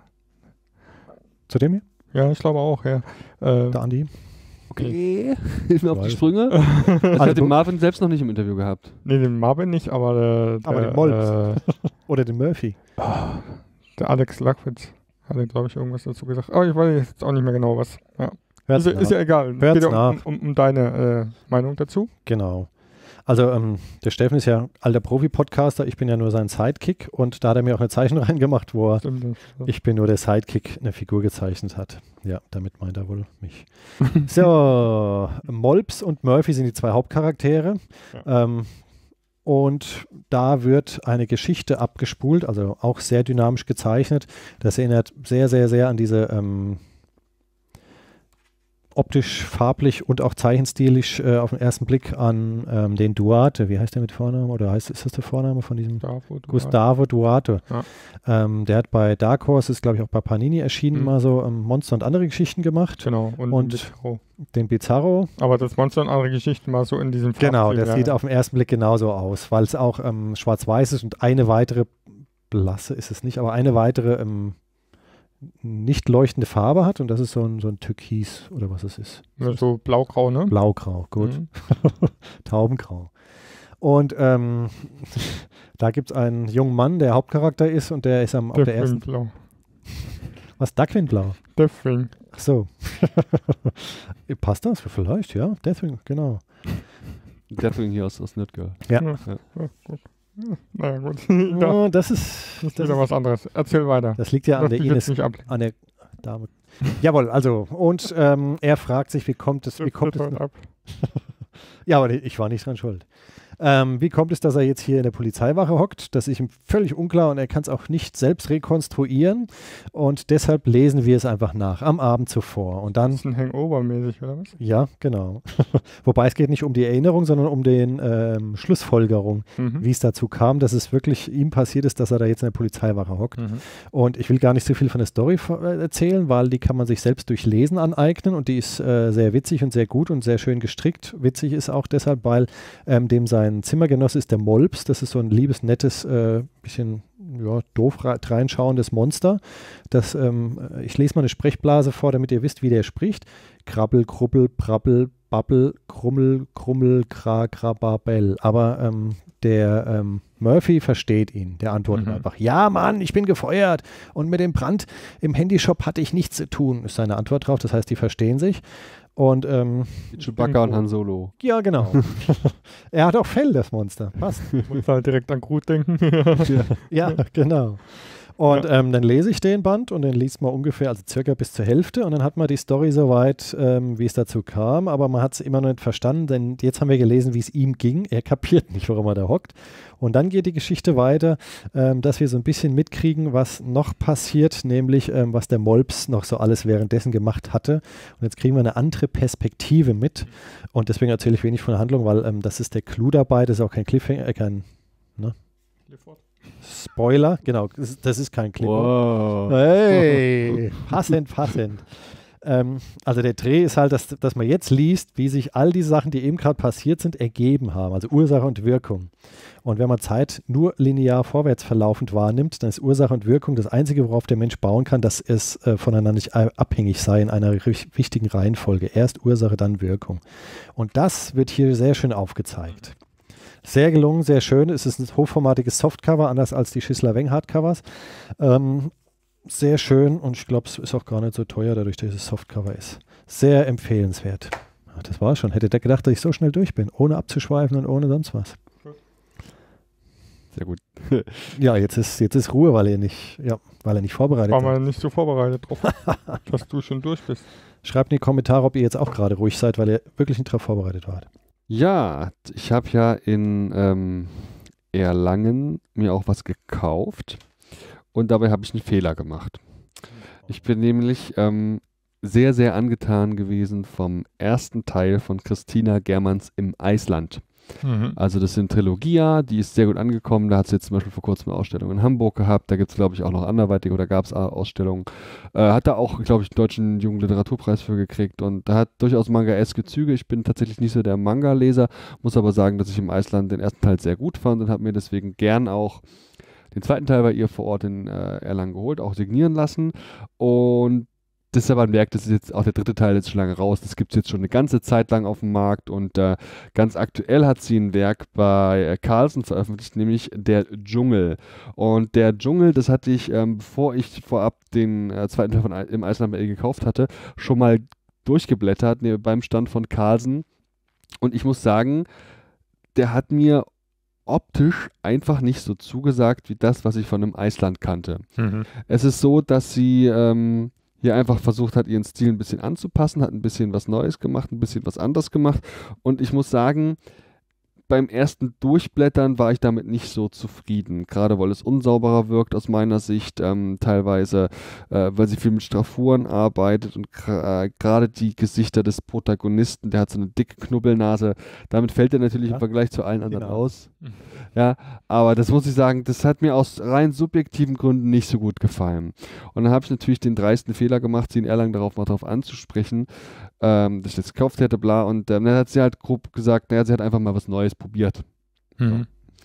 Ähm, um es auch mal vorwegzunehmen, also ich habe den Comic hier auch noch schriftlich rezensieren und ich hatte die Gelegenheit, weil wir auch übers Internet hatten, habe ich Kontakt zu Christina, ähm, habe ihr da schon ein paar Fragen zugestellt, also ein schriftliches Interview, ein kurzes, das wird es die Tage dann auch geben. Ähm, ich schreibe, ich erwähne es jetzt einfach mal ganz dreist, äh, für die Internetseite geekwhisper.de, da ähm, mache ich auch regelmäßig Rezensionen und wenn ich die Möglichkeit habe, dann füge ich da noch Interviews bei.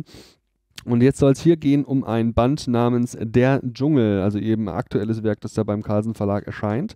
Sie selbst ist natürliche Autorin und Zeichnerin, allerdings basiert der ganze Comic auf einem Buch von Upton Sinclair. Und Upton Sinclair hat hier ähm, im Grunde nach ein Buch über eine litauische Familie gemacht, die ähm, in die Staaten einreist, und zwar in, der, in, dieser, in dieser Migrationszeit, wo eben die, ähm, oh Gott, wann wird das gewesen sein? Ich kenne jetzt keine Jahreszahl, doch 1899 ähm, gab es halt diese riesen äh, Immigrationswelle in den Staaten, weil da halt eben ganz viele, also von, von der ganzen Welt sind Leute dahin gekommen. Und wir haben hier im Zentrum eine litauische Familie, die versucht, sich dort ein neues Leben aufzubauen, den amerikanischen Traum zu leben. Und ähm, na, dazu brauchen sie eben Jobs. Mhm. Und ähm, wo kommen sie da eigentlich an? Sie kommen natürlich in New York an und werden da erstmal, ähm, das passiert alles auf den ersten Seiten, ähm, ja, gemustert, ja, also müssen, Mhm. da werden da quasi gewogen, werden befragt, so richtig so medizinische Untersuchungen, Ja, das hat ja. schon echt, also hat äh, es beängstigende äh, Sachen schon, schon auf sich. Ist es tatsächlich. Wir waren da mal in dem Museum, da im Immigrationsmuseum, das haben die tatsächlich damals so getrieben. Ja. Also es war schon heftig zum Teil, ja. Mhm. Ähm, aber das machen sie alles mit, denn sie sind sich im Klaren, dass sie jetzt hier ihr altes Leben in Litauen verlassen haben. Sie wollen jetzt hier einen neuen großen Schritt machen. Sie haben teilweise Ehepartner und äh, verlassen, weil es eh nicht so gut lief und so. Und jetzt sind sie eben als Familie gemeinsam, inklusive auch der Kinder, äh, der Alten, sind sie eben jetzt in die Staaten gereist und sie wollen ihr Glück jetzt in Chicago versuchen. Mhm. Dort in Chicago angekommen, ähm, da gibt es eben Industrie. Was gibt es da so für Industrie? Da gibt es ähm, vor allem die große Metzgerei, die auch schon industrialisiert funktioniert. Das heißt, da wird in Massenproduktion werden dort Tiere getötet, ausgeweidet und eben verarbeitet. Mhm. Ähm, da gibt es einen großen, großen Düngerproduzenten, ähm, wo man halt ganze Zeit irgendwelche komischen Sachen hin und her schupfen muss und am Ende des Tages einfach bestialisch stinkt wenn man dort arbeitet. Es gibt dort Schneidereien, es gibt dort äh, viele weitere Sachen und es gibt natürlich auch Prostitution. All das sind ähm, Zweige, die dort eine Rolle spielen und ähm, die suchen da halt eben ihr Glück, versuchen einen Job zu kriegen. Das ist ganz interessant, wenn man guckt, für was für Stundenlohn die manchmal, also damals unterwegs gewesen sind. Das sind wenige Cent Tageslohn, die da zusammenkommen. Ähm, natürlich war die Ausgaben, die muss man auch sehen. Also da hat eben deine Wohnung, hat da eben auch, keine Ahnung, zwei Dollar die Woche gekostet oder so. Mhm. Das muss man dann auch sehen im Vergleich. Aber die boxen sich durch und haben es natürlich nicht immer leicht.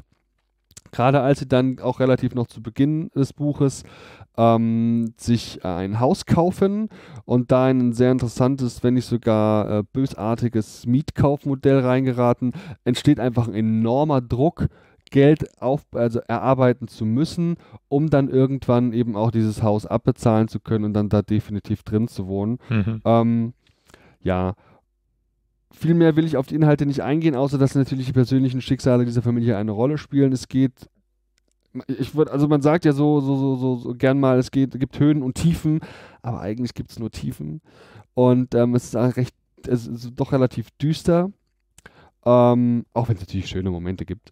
Ähm, und man muss einfach mal sagen, das ist so eine Sache, äh, die Christina steht sehr auf geschichtlichen Kontext. Das hat sie also auch schon bei einem Eisland bewiesen, dass sie sich sehr intensiv damit befasst hat. Wieder diese MS Terror war glaube ich, und noch eine zweite. Ähm, da äh, durch diesen, diese besondere äh, in der Arktis gelegene äh, Seeroute fahren wollen, hat sich da sehr mit beschäftigt und das dann eben in einen Comic verarbeitet und dann auch eine Geschichte erzählt. Hier ist es so, und das ist mein Eindruck so von den ersten drei Vierteln des Comics, das ist im letzten Viertel dann nochmal ein bisschen anders, ähm, dass sie eigentlich vorhatte, also es wirkt so wie so ein Geschi für den Geschichtsunterricht aufgearbeitetes Thema, hier eben als Graphic Novel bzw. Comic aufgearbeitet, um es vielleicht mal einer neuen Zielgruppe zur Verfügung zu stellen.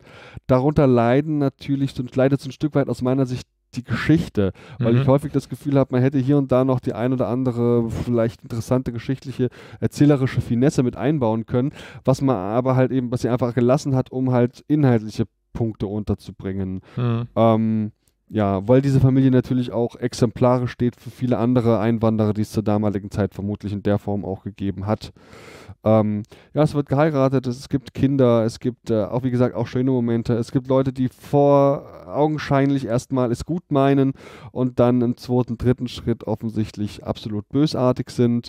Ähm, der Mensch selber, wie er hier seine Arbeitskraft mitbringt und in den Fabriken zum Arbeiten kommt, ist genauso austauschbar für die Bosse dieser Firmen, wie es ähm, auch die Werkzeuge sind oder, oder, oder wie es vieles andere ist. Man ist also hier, das, Menschen, das einzelne Menschenleben zählt in dem Sinne nicht viel. Entweder du arbeitest und verdienst Geld oder du musst halt selbst sehen, wie du zurechtkommst.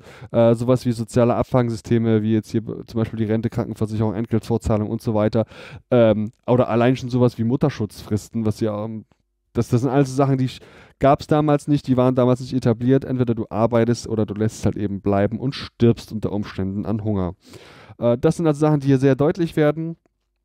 Und das ist, wie gesagt, im ersten Dreiviertel kann einen das ein bisschen stören, dass es so viel so geschichtlich ist halt einfach, weil der, Erzähls, die, der Erzählfluss da vielleicht ein bisschen drunter leidet. Mhm. Im letzten Viertel zieht das Ganze aus meiner Sicht ein bisschen an, weil spätestens da habe ich es dann geschafft, mich mit der großnasigen Hauptfigur äh, vielleicht zu identifizieren oder so ein bisschen noch mehr Sympathien für ihn zu entwickeln und ähm, konnte also hab, ähm, mich an ihm einfach mehr orientieren können und fand es dann einfach ein bisschen flüssiger im Endeffekt. Sodass mein Zwischenfazit, das ich zeitweise auf Facebook und Twitter gepostet hatte, negativer war als jetzt mein Gesamtfazit ist.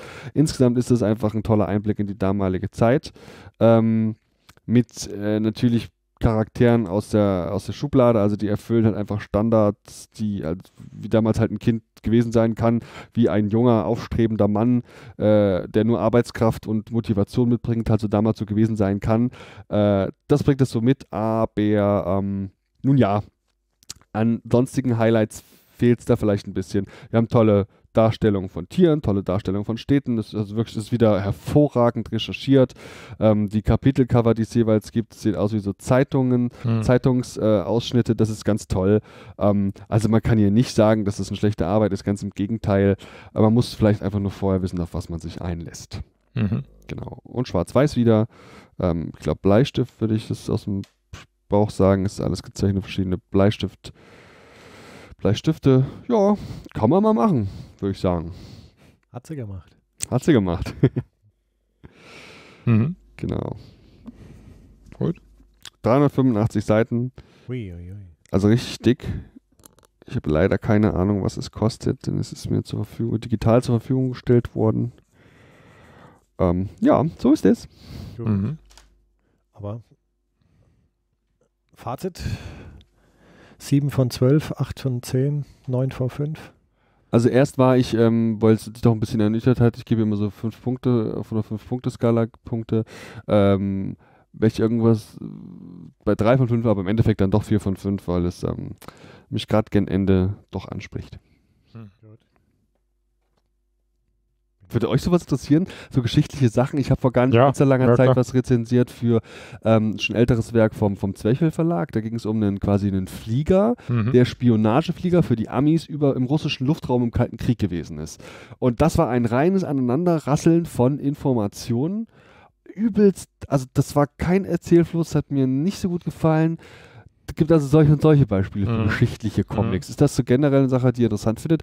Sich an der, an der Geschichte orientierte Comics? Also vor 20 Jahren hätte es mich jetzt nicht so interessiert, wenn es nicht ähm, vom Erzählfluss äh, richtig äh, ein nur es unterschwellig heimlich mit, äh, mit historischem Stoff versorgt. Aber ähm, gerade das, was da so geschildert wird, ist immer noch, also wenn es jetzt ähm, vielleicht mit der Absicht geschaffen wurde als, als Schulbuchersatz oder sowas, ähm, es ist als Comic viel angenehmer, sowas aufzunehmen, als darüber zu lesen. Und ähm, ansonsten stimmt, ja. einen Film in der Schule gucken, das ist so ein bisschen wie der Lehrer macht gar nichts mehr, da läuft ein Film. Und das ist man vielleicht als Schüler theoretisch bereit, sogar ähm, als Hausaufgabe zu lesen und dann im Unterricht drüber zu sprechen und noch ein paar mehr. Ähm, also heute interessiert es mich ein bisschen mehr als früher, ja. Also für mich klingt es als, ähm, ich habe es jetzt nicht gelesen, aber als wäre es nicht Overdose, sondern als würde ich die ersten drei Viertel packen und kriege dann zum Schluss sogar noch eine Belohnung, dass es dann den Schwung kriegt. Ja, ja, doch. Wenn, wenn du schon mit der Ansicht, der Absicht daran, oder mit dem, mit dem Wissen daran gehst, was. Wenn ich es jetzt vorher weiß, ja. Ja, genau. Mhm. Dann ist, glaube ich, ist, glaube ich. Manchmal, ich glaube, man muss ganz schön, äh, wie lange geht es noch in der Form und du weißt ja nicht, was hinten noch kommt. Ja, ob man da dann, kommt auf die Motivation drauf an. Jetzt, nachdem du es mir erzählt hast, wüsste ich ja, hinten kommt noch. Ja. Ähm, ja, soll ich, Ja, nö, äh, ja, achso. Mhm. ähm, also ich habe nicht mehr alle Comics, die ich in Erlangen gekauft habe, hier liegen. Alles, was gelesen ist, Mhm. äh, liegt hier oder ist schon ordentlich weggeräumt. Ich möchte bitte in den Kommentaren ein Lob dafür, dass ich ein paar Sachen schon weggeräumt habe. Ich habe jetzt hier noch von den Mao Buhl, der saß auch bei Quimby. Den Namen Ja. habe ich schon viel öfters gehört, aber noch nie äh, einen Comic von ihm gekauft. Da habe ich einfach mal heute, äh, diesmal in Erlangen, zwei Comics von ihm gekauft. Erstens ähm, ist er wohl dafür schon seit längerem bekannt, dass er ja so für Rollenspiele so Illustrationen macht und dann macht er auch Gerd und äh, Krendil. Ähm, das ist eine Comic-Geschichte, wo er jetzt, wenn ich es richtig verstanden habe, pausiert oder am zweiten Heft gerade bei ist. Und hier ist das erste Heft und das liegt schon eine Weile zurück. Und das sind ähm, kürzere Geschichtchen, Geschichtchen von ähm, zwei, sind es Zwerge? Ich glaube, es sind Zwerge, also Fantasy-Wesen, die Abenteuer erleben, aber nicht auf abenteuerliche Weise, sondern auf witzige Weise. Sehr schön. Und dann gab es noch etwas, das hieß äh, Stories. Und da unten drunter steht der, der Begriff, wofür er äh, sonst steht. Ähm, hier, Katzenfutter Chili. Du, das wisst ihr besser als ich. Ähm, der Comic hat sonst die Kammer des Schreckens als Titel weiter. Ähm, das ist so ein bisschen, oh, hat er mir ein Elefantchen reingemalt. Er hat mich gefragt, ob kurz oder lange Rüssel. Habe ich gesagt, lange Rüssel. Hat er mir einen ganz süßen, putzigen Elefant mit langen Rüssel. Weißt du, was er mir reingemalt hat? Hm? Den Jörg Fassbender von Edition Quimby, Ja. wie er in den 70er Jahren ausgesehen hat. Mit Afro und Brille. Das ist der, der Quimby macht, der Ja. Verleger oder wie man es nennt. Der. Mhm. Und ähm, was ich jetzt auch hier zu Hause erst gesehen habe, also die Comics habe ich auch zu Hause gesehen, in Gerd und Grendil hat er mir gar nichts reingezeichnet. Ich weiß gar nicht, wie, wie das durch. Ja, also ich kaufe da nicht Comics vor Ort, ohne dass er mir was reinzeichnet. Weh, weh ich erwische den Schlingel nochmal. Und das ist so ein bisschen autobiografisch. Ich finde es jetzt von der Koloration, ähm, ja, eine Zweitauflage sollte nochmal neu kolorieren. es sind, äh, sieht aus wie jemand, der am Computer was koloriert hat, aber hinterher nicht nochmal für den Druck äh, farblich abgeändert hat. Aber es ist eine sehr charmante, nette äh, ähm, liebe Geschichte. Und jetzt denkt ihr, ach komm, das klingt ja nicht wie 10 von 10. Es ist auch nicht 10 von 10, aber was keiner weiß, ich mag nett. Für mich ist nett sehr gut. Ähm, weil dieses ganze, ähm, wie soll man das toppen, indem man alles noch extremer macht, extremer, extremer. Also immer nur extremer und sich steigern, ähm, ist irgendwann auch mal ein bisschen viel. Also sowas brauche ich zwischendurch auch. Sehr schön. Ähm, dann ähm, habe ich am Gratis Comic Tag ein paar Gratis Comic Hefte mitgenommen, aber konnte man nicht alle mitnehmen, weil man kriegt ja fünf Stück pro Laden. Und dann habe ich in Erlangen ähm, das, was die Verlage teilweise noch nutzen, um noch äh, Leseproben rauszuhauen, die verteilen da teilweise auch ihre Gratis Comics noch als, hey, lies hier mal rein. Jetzt hat, ähm, nachdem König Rumrin schon mal auf Deutsch erschienen war, in Schwarz-Weiß beim klitzekleinen Verlag, dann nochmal in Farbe beim klitzekleinen Verlag und dann äh, hat es leider, nee, in Hardcover nochmal. Ähm, dann hat der Verlag leider nicht mehr weitergeschafft, hat sich jetzt Dani Books dieser verkaufstechnisch erfolglosen Serie nochmal angenommen. Was ihr nicht vergessen dürft, liebe Hörer, erfolglos ist nur wirtschaftlich. Das ist eine wunderschöne, richtig schöne Geschichte, mystisch Fantasy. Kleines Mädchen ähm, zieht mit der Familie zum Onkel, weil sie es finanziell scheinbar nicht anders hinkriegen. Der Onkel wohnt in einem, ja, optisch sieht es aus wie so ein Geisterschloss. So kommt auch der Onkel daher. Ähm, wie ein Geisterschloss als würde er im Geisterschloss leben. Ähm, das ist eine reiche Gegend, das heißt nur versnobte Mitschüler und da muss er durch. Dann gibt es nochmal von Dani Books die Nectons, Abenteuer der Tiefe. Sehr schön, dass Dani Books das rausbringen wird, weil das habe ich auf dem US-Markt aus Vernunftgründen mal nicht mitbestellt. Das heißt, die Serie hätte ich sehr, sehr gerne gehabt, habe es aber nicht und jetzt kaufe ich sie mir auf Deutsch. Habe ich das erste Heft auch schon gelesen, gerade das Comic-Tag-Version und ähm, ja, ihr wisst ja immer alles, es gibt gute Comics, es gibt Scheiß-Comics. Nein, es gibt nur gute Comics. Es kommt nur darauf an, wer wessen Geschmack äh, benutzt und äh, hat und was er liest, in welcher Stimmung. Ich habe auch ähm, das gerade Comic-Tag Heft Sigurd im Tal der Schatten gelesen. Ja, wenn man sich hineinversetzt, dass man alter Opa ist, findet man das auch gut. Und ähm, von der Story her, also der Zeichner ist Hans-Rudi Wäscher, der hat schon immer so gezeichnet, dass die Schultern völlig äh, schepp sind. Das ist sein Markenzeichen. Daran erkennt man, dass es wirklich ein Hans-Rudi Wäscher ist, wenn das sehr statische, komische Figuren sind. Aber die Story ist eine ganz normale Fantasy-Geschichte. Ist nicht äh, unbedingt schlecht. Fand ich auch okay. Gut, dann Willst du reinblättern? Lass mal sehen. Ach, jetzt hier. Also ähm, ich war früher Comichändler und habe ähm, jetzt lese ich, jetzt kriege ich oft mit, dass ihr noch Sachen empfehlt, die äh, hatte ich gar nicht auf dem Schirm, aber früher als Comichändler habe ich immer versucht, alles abzudecken und habe alles gelesen und habe da Sachen entdeckt, ähm, die unter bestimmten Aspekten betrachtet. Das gibt einfach fast nur, es gibt auch Scheiße, aber es gibt fast nur gute Comics, wenn man mal wohlwollend betrachtet. Ansonsten ähm, auf der Mathieu-Ausstellung, da gab es einen riesigen Würfel und wenn man den Würfel von Seite zu Seite betrachtet und dann von links nach rechts und oben unten, es ist eine Comic-Geschichte und so eine Würfelseite ist eine Comic-Seite und den konnte man nachbauen, wenn man so ein DIN A3-Papp-Ding mitgenommen hat. Ich habe nicht nachgebaut, aber ich habe das Papp-Ding, bin auch sehr froh, dass ich das habe. Ansonsten habe ich bei Danny Books Sorceline 1 gerade frisch erschienen gekauft. Sehr, sehr, sehr schöner Comic für, für jedes Alter, äh, besonders für Mädchen. Das ist so ähnlich wie Witch, Harry Potter, Wings Club. Ähm, da kommt ein Mädchen auf eine Schule, wo nur ausgewählte wenige hin können, ähm, wo jemand erklärt, was, wie heißt der Untertitel von dem ersten Band und lest nach. Und das ist das Thema von der Schule. Ja, die Comic-Szene habe ich dort auch gekauft. Die gab es an einem Abend von, äh, von dem Comic Talk, weil das da das Thema der Comic-Szene sind. Diesmal kommen die Comic-Frauen dran, Comic-Autorin, Comic-Zeichner, Comic-Frauen. Da ist auch die Hella von Sinn mit drin, da ist auch die ähm, Myrrhe-Zeichnerin drin, habe ich natürlich zweimal gelesen. Und da ist auch äh, geschrieben von der Frau Sutter, die äh, im Fernsehen einen Auftritt hatte. Ähm, Im österreichischen Fernsehen hat sie bei irgendeiner Castingshow, nicht Castingshow, bei so einer, ähm, ich führe was Tolles vor und äh, die drei in der Jury können buzzern, wenn sie es keine Geduld haben, fertig zu gucken und scheiße finden. Die drei haben gebuzzert, weil sie keine Geduld haben, also sie fanden es nicht scheiße. Jetzt nämlich da noch in den letzten Sekunden noch schnell fertig gemacht, haben sie gesehen, ach du Scheiße, wir haben alle gebuzzert, weil wir zu ungeduldig sind, haben das Tolle nicht gesehen. Die hat was Tolles vorgeführt und das wurde da auch beschrieben, das habe ich dann hinterher auf YouTube nochmal nachgeguckt, solltet ihr auch mal nachgucken. Ähm, die hat Schnellzeichnungen sich angeeignet und dann in der Sendung präsentiert. Hammer. Ja, ähm, ein Highlight, was ich auf dem Comic-Salon in Erlangen mitgenommen habe und kein Prospekt und kein Comic und kein sonst was ist, ist die Papiertüte von Clever Smart. Das wollte ich einfach noch erzählt haben. Nicht, dass das untergeht. Und ich glaube, ach so, ähm, zum Thema, sie führt auf der Bühne was vor es gab schon ähm, neben Castingshows für hübsche Frauen, für Sänger und sonst was, gibt es ja auch diese Querbeet-Casting-Shows, aber es gab schon mal eine mit dem Versuch, Comedy ähm, zu casten.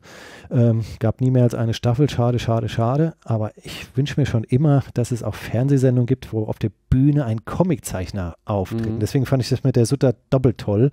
Und ähm, es gibt ähm, U-Comics, gab es in Erlangen das 3D-Ding, das habe ich mir leider nicht mhm. gekauft, weil ich dachte, es wäre ein altes Ding, aber das ist ja neu erschienen. Ja, ah, sehr gut geworden. Mist. Muss ich nochmal gucken. Ähm, U-Comics gab es vor 30, 40, 50, 60, 70, also vor, vor Jahrzehnten schon mal. Und da gab es auch ähm, dicke, fette Sammelbände. Und da gab es auch einen Künstler, der hieß Baudet. Und der Künstler ähm, hatte Vaughn Baudet hieß der. Der hatte Cheech Wizard gehabt und ähm, da in dem Vorwort von dem Band vor 40 Jahren ähm, stand drin, soweit man dem Vorwort glauben darf, war es so, dass er in Amerika ähm, sowas gemacht hat. Der hat auf einer Bühne gestanden und da waren so viele Leute, wie sonst auf Musikkonzerten sind und haben auf dem Overhead-Projektor geguckt, was der da macht.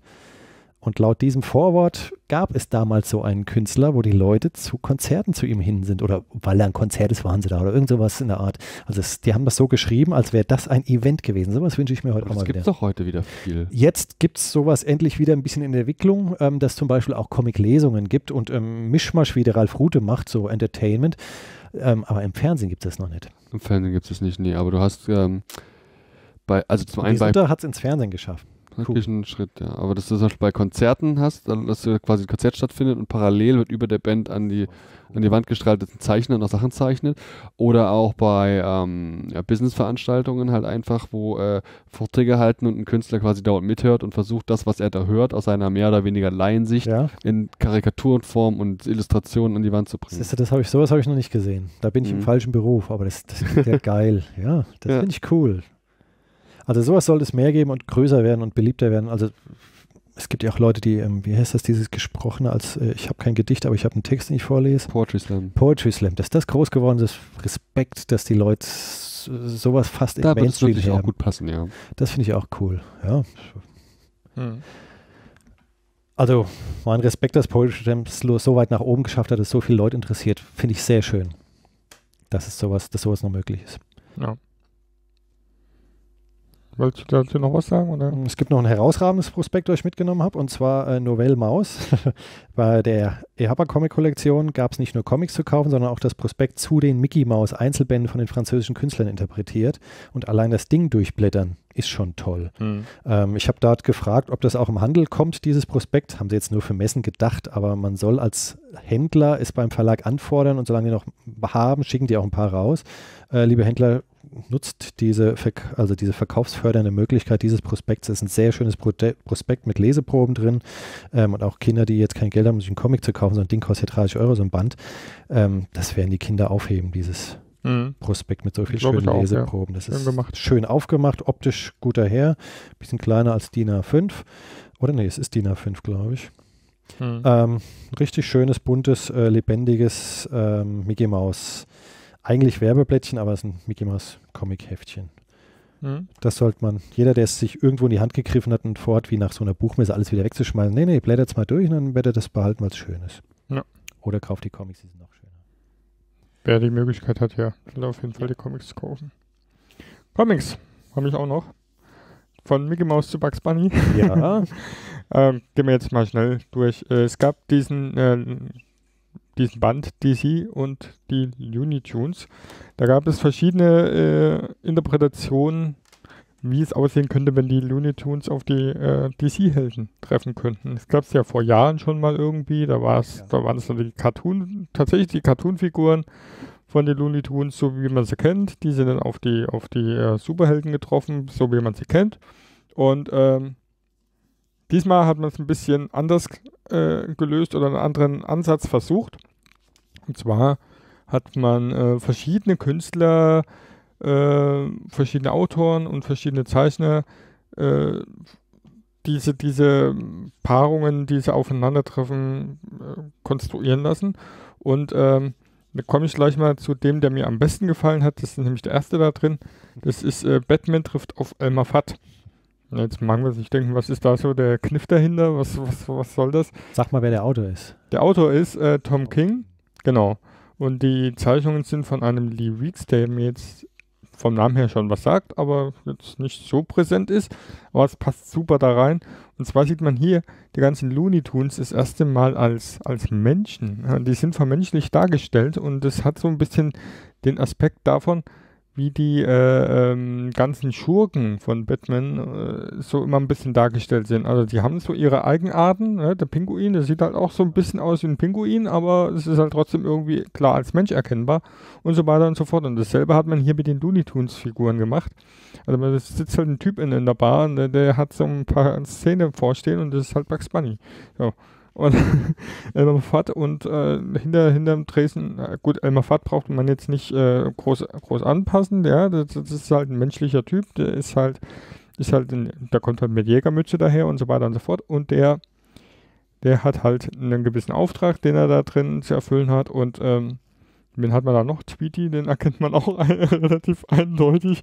Ähm, das ist halt so ein kleiner, kleiner Kerl mit einem ziemlich großen Kopf und, Ah. und so. Man, hat, man hat halt schon die, ähm, die Figuren genommen, wie man sie so kennt und die aber vermenschlicht dargestellt. Hier sieht man halt Tess, das ist so ein, so ein Schlägertyp, ja, und so weiter und so fort.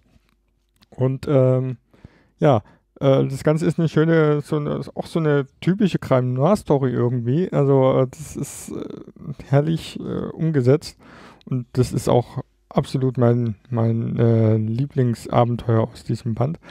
Ähm, gespickt hat man das Ganze dann pro äh, Heftausgabe. Äh, ich glaube, das sind jetzt, wie viel sind da drin? Fünf oder sechs, glaube ich. Ja, ich glaube sechs. Äh, der, der letzte Teil, also die Backstory, ist dann immer noch mal so ein, so ein äh, um, umgedrehtes Verhältnis. Also da, da ist, ist dann halt die Cartoon-Variante des Ganzen. Also das heißt, äh, da hat man dann auch dieses Aufeinandertreffen noch mal drin, aber das dann halt aus der Cartoon-Perspektive ge gesehen. Ja, das kann dann eine völlig eigenständige Story sein. Es kann aber auch einen Bezug zu einer der vorhergehenden Stories haben, die da drin erschienen sind. Also das zweite Heft war jetzt zum Beispiel äh, auch eine ziemlich äh, komische, ein ziemlich komisches Aufeinandertreffen, was ich mir jetzt so auch hätte nicht vorstellen können. Das war nämlich Tess trifft auf Wonder Woman.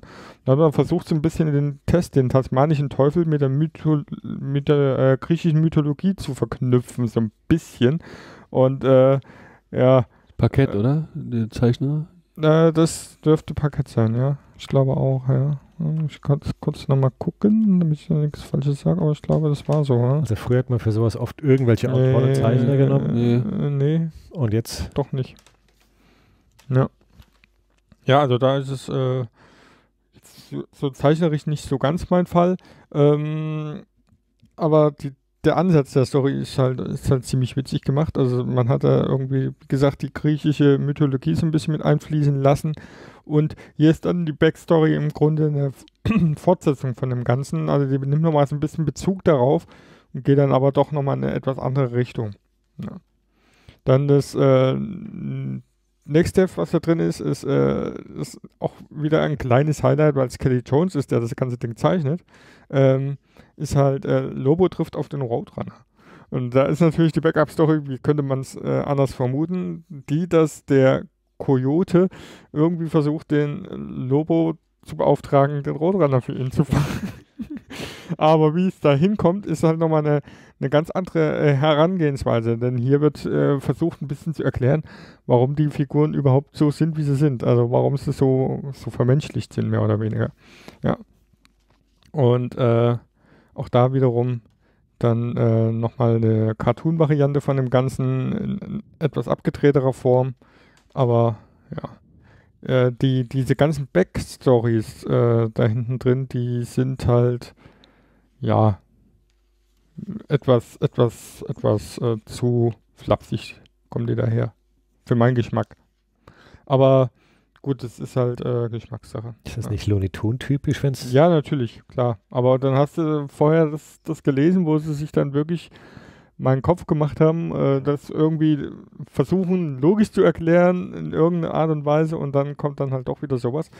Ähm, dann äh, sollte eigentlich ein Highlight sein, doch der Band äh, mit Legion of Superheroes und Bugs Bunny, äh, weil das Tom Crummett gezeichnet hat. Das ist ein Zeichner, den ich sehr schätze normalerweise, weil der hat früher mich in den 90er Jahren sehr bekleidet. Also als ich da so Sachen gelesen habe wie Superboy oder Teen Titans, äh, Teen Titans war es nicht, nee, das war, äh, das war Superboy und Robin. Diese, das waren die, auch die, die Zweitgeschichte in, in, der, in ersten Justice League-Ausgaben damals. Ähm, genau, solche Sachen, die haben mich halt äh, in, in meine Jugend, also die haben mich richtig beeinflusst. Und hier kommt der Zeichenstil von Tom Crummett irgendwie so liederlich daher. Ich weiß auch nicht. Entweder habe ich da eine, eine verklärte Sicht auf die Vergangenheit oder es, es ist hier wirklich irgendwie nicht so sein Thema gewesen. Ich weiß es nicht. Also irgendwas stört mich hier dran. Kann es noch nicht mal genau ausmachen. Jedenfalls, äh, die Backup-Geschichte bei den, bei den, äh, bei der Legion der Superhelden ist ja immer die, dass die als Inspiration den Superman bzw. den Superboy hatten. Und jetzt haben sie da auch wieder ein, Problem. Sie haben irgendwie Supergirl in der Zukunft und die liegt im Sterben aus Gründen. Und äh, jetzt suchen sie halt nach Hilfe in der Vergangenheit, nämlich, äh, dass da eventuell Superboy oder Superman ihnen ja helfen könnte und die beamen aus Versehen halt nicht äh, Superman oder Superboy in die Zukunft, sondern Bugs Bunny. Und der verwandelt sich dann halt kurzerhand mal in, in einen Super Bunny, ja, so nach dem Motto. Und ähm, ja, äh, hier hat man interessanterweise in der Hauptstory als auch in der Backup-Story die gleiche Geschichte erzählt. Nur so ein bisschen aus ganz, äh, also nur ganz wenig abgewandelt in der, in der, äh, in der Cartoon-Variante. Aber im Grunde ist es dieselbe Geschichte. Seltsam. Seltsame Umsetzung. Da. Ja. Dann die zwei Marsianer, die noch aufeinandertreffen. Das ist äh, Martian Manhunter und Marvin der Marsianer. das ist, ergibt natürlich wieder mehr Ja. Sinn. äh, treffen sich zwei Marsianer und kennen sich eigentlich nicht. Also das heißt, wo, wo kommst du her? Aus einer ganz anderen Welt und so weiter und so fort. Das ist so ein bisschen der Kniff dabei. Und äh, ja, der eine versucht halt die Erde zu retten, ne, der Martian Manhunter, der andere versucht zu zerstören, weil der irgendwie eine Wut auf die Erde hat. Ja. Und auch da gibt es dann nochmal eine recht locker gezeichnete und cartoonige Variante von dem ganzen Aufeinandertreffen. Ja. Und die allerletzte, das ist, also muss, muss jetzt hier ehrlich sagen, die allerletzte und die allererste, das waren so meine Lieblingsstories. Nämlich die letzte ist die, dass äh, der Yosemite Sam auf Jonah Hex trifft. Und äh, Yosemite Sam äh, stößt hier auf eine Goldgrube und äh, macht sich damit natürlich nicht nur Freunde, sondern vor allem viele Feinde, weil die anders Gold wollen. Ne? Und deswegen äh, trifft er dann irgendwann auf Jonah Hex und äh, macht mit ihm den Deal, er beschützt ihn so ein bisschen und ja, kriegt dafür einen Teil des Fundes. Ja, ja. Genau.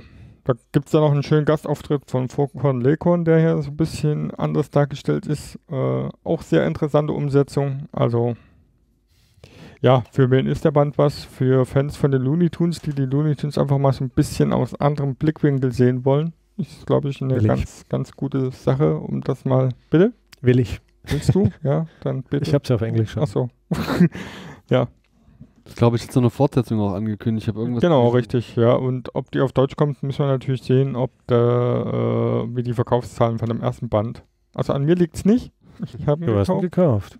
gekauft. Ähm, genau, da hatte ich nämlich im, im, im äh, Forum nochmal nachgeguckt, wie da schon die Erwartungen sind. Und da hieß es halt, Und ich hätte damals gedacht, das kommt wahrscheinlich nicht auf Deutsch und habe mir die englischen Hefte geholt. ja, da war ich mir relativ sicher, dass der kommt, weil, der weil eben Tom King drin ist. Was, was kostet der Band? Der Band kostet ähm, 26 Euro. Ja, das Alter also, Naja, 6 mal Ja. äh, 5 Dollar ist Ja. mehr. Ja, klar, logisch. Aber es ist halt, äh, das ist halt so ein Anthologie-Ding eigentlich, Ja. wenn man es so will. Äh, es ist jetzt nicht durchgängig gut. Also wie gesagt, die erste und die letzte Geschichte waren meine Highlights. Alles dazwischen war so mehr oder weniger gut. Finde ich jetzt. Ja. Aber trotzdem mal einen Blick wert. Ja.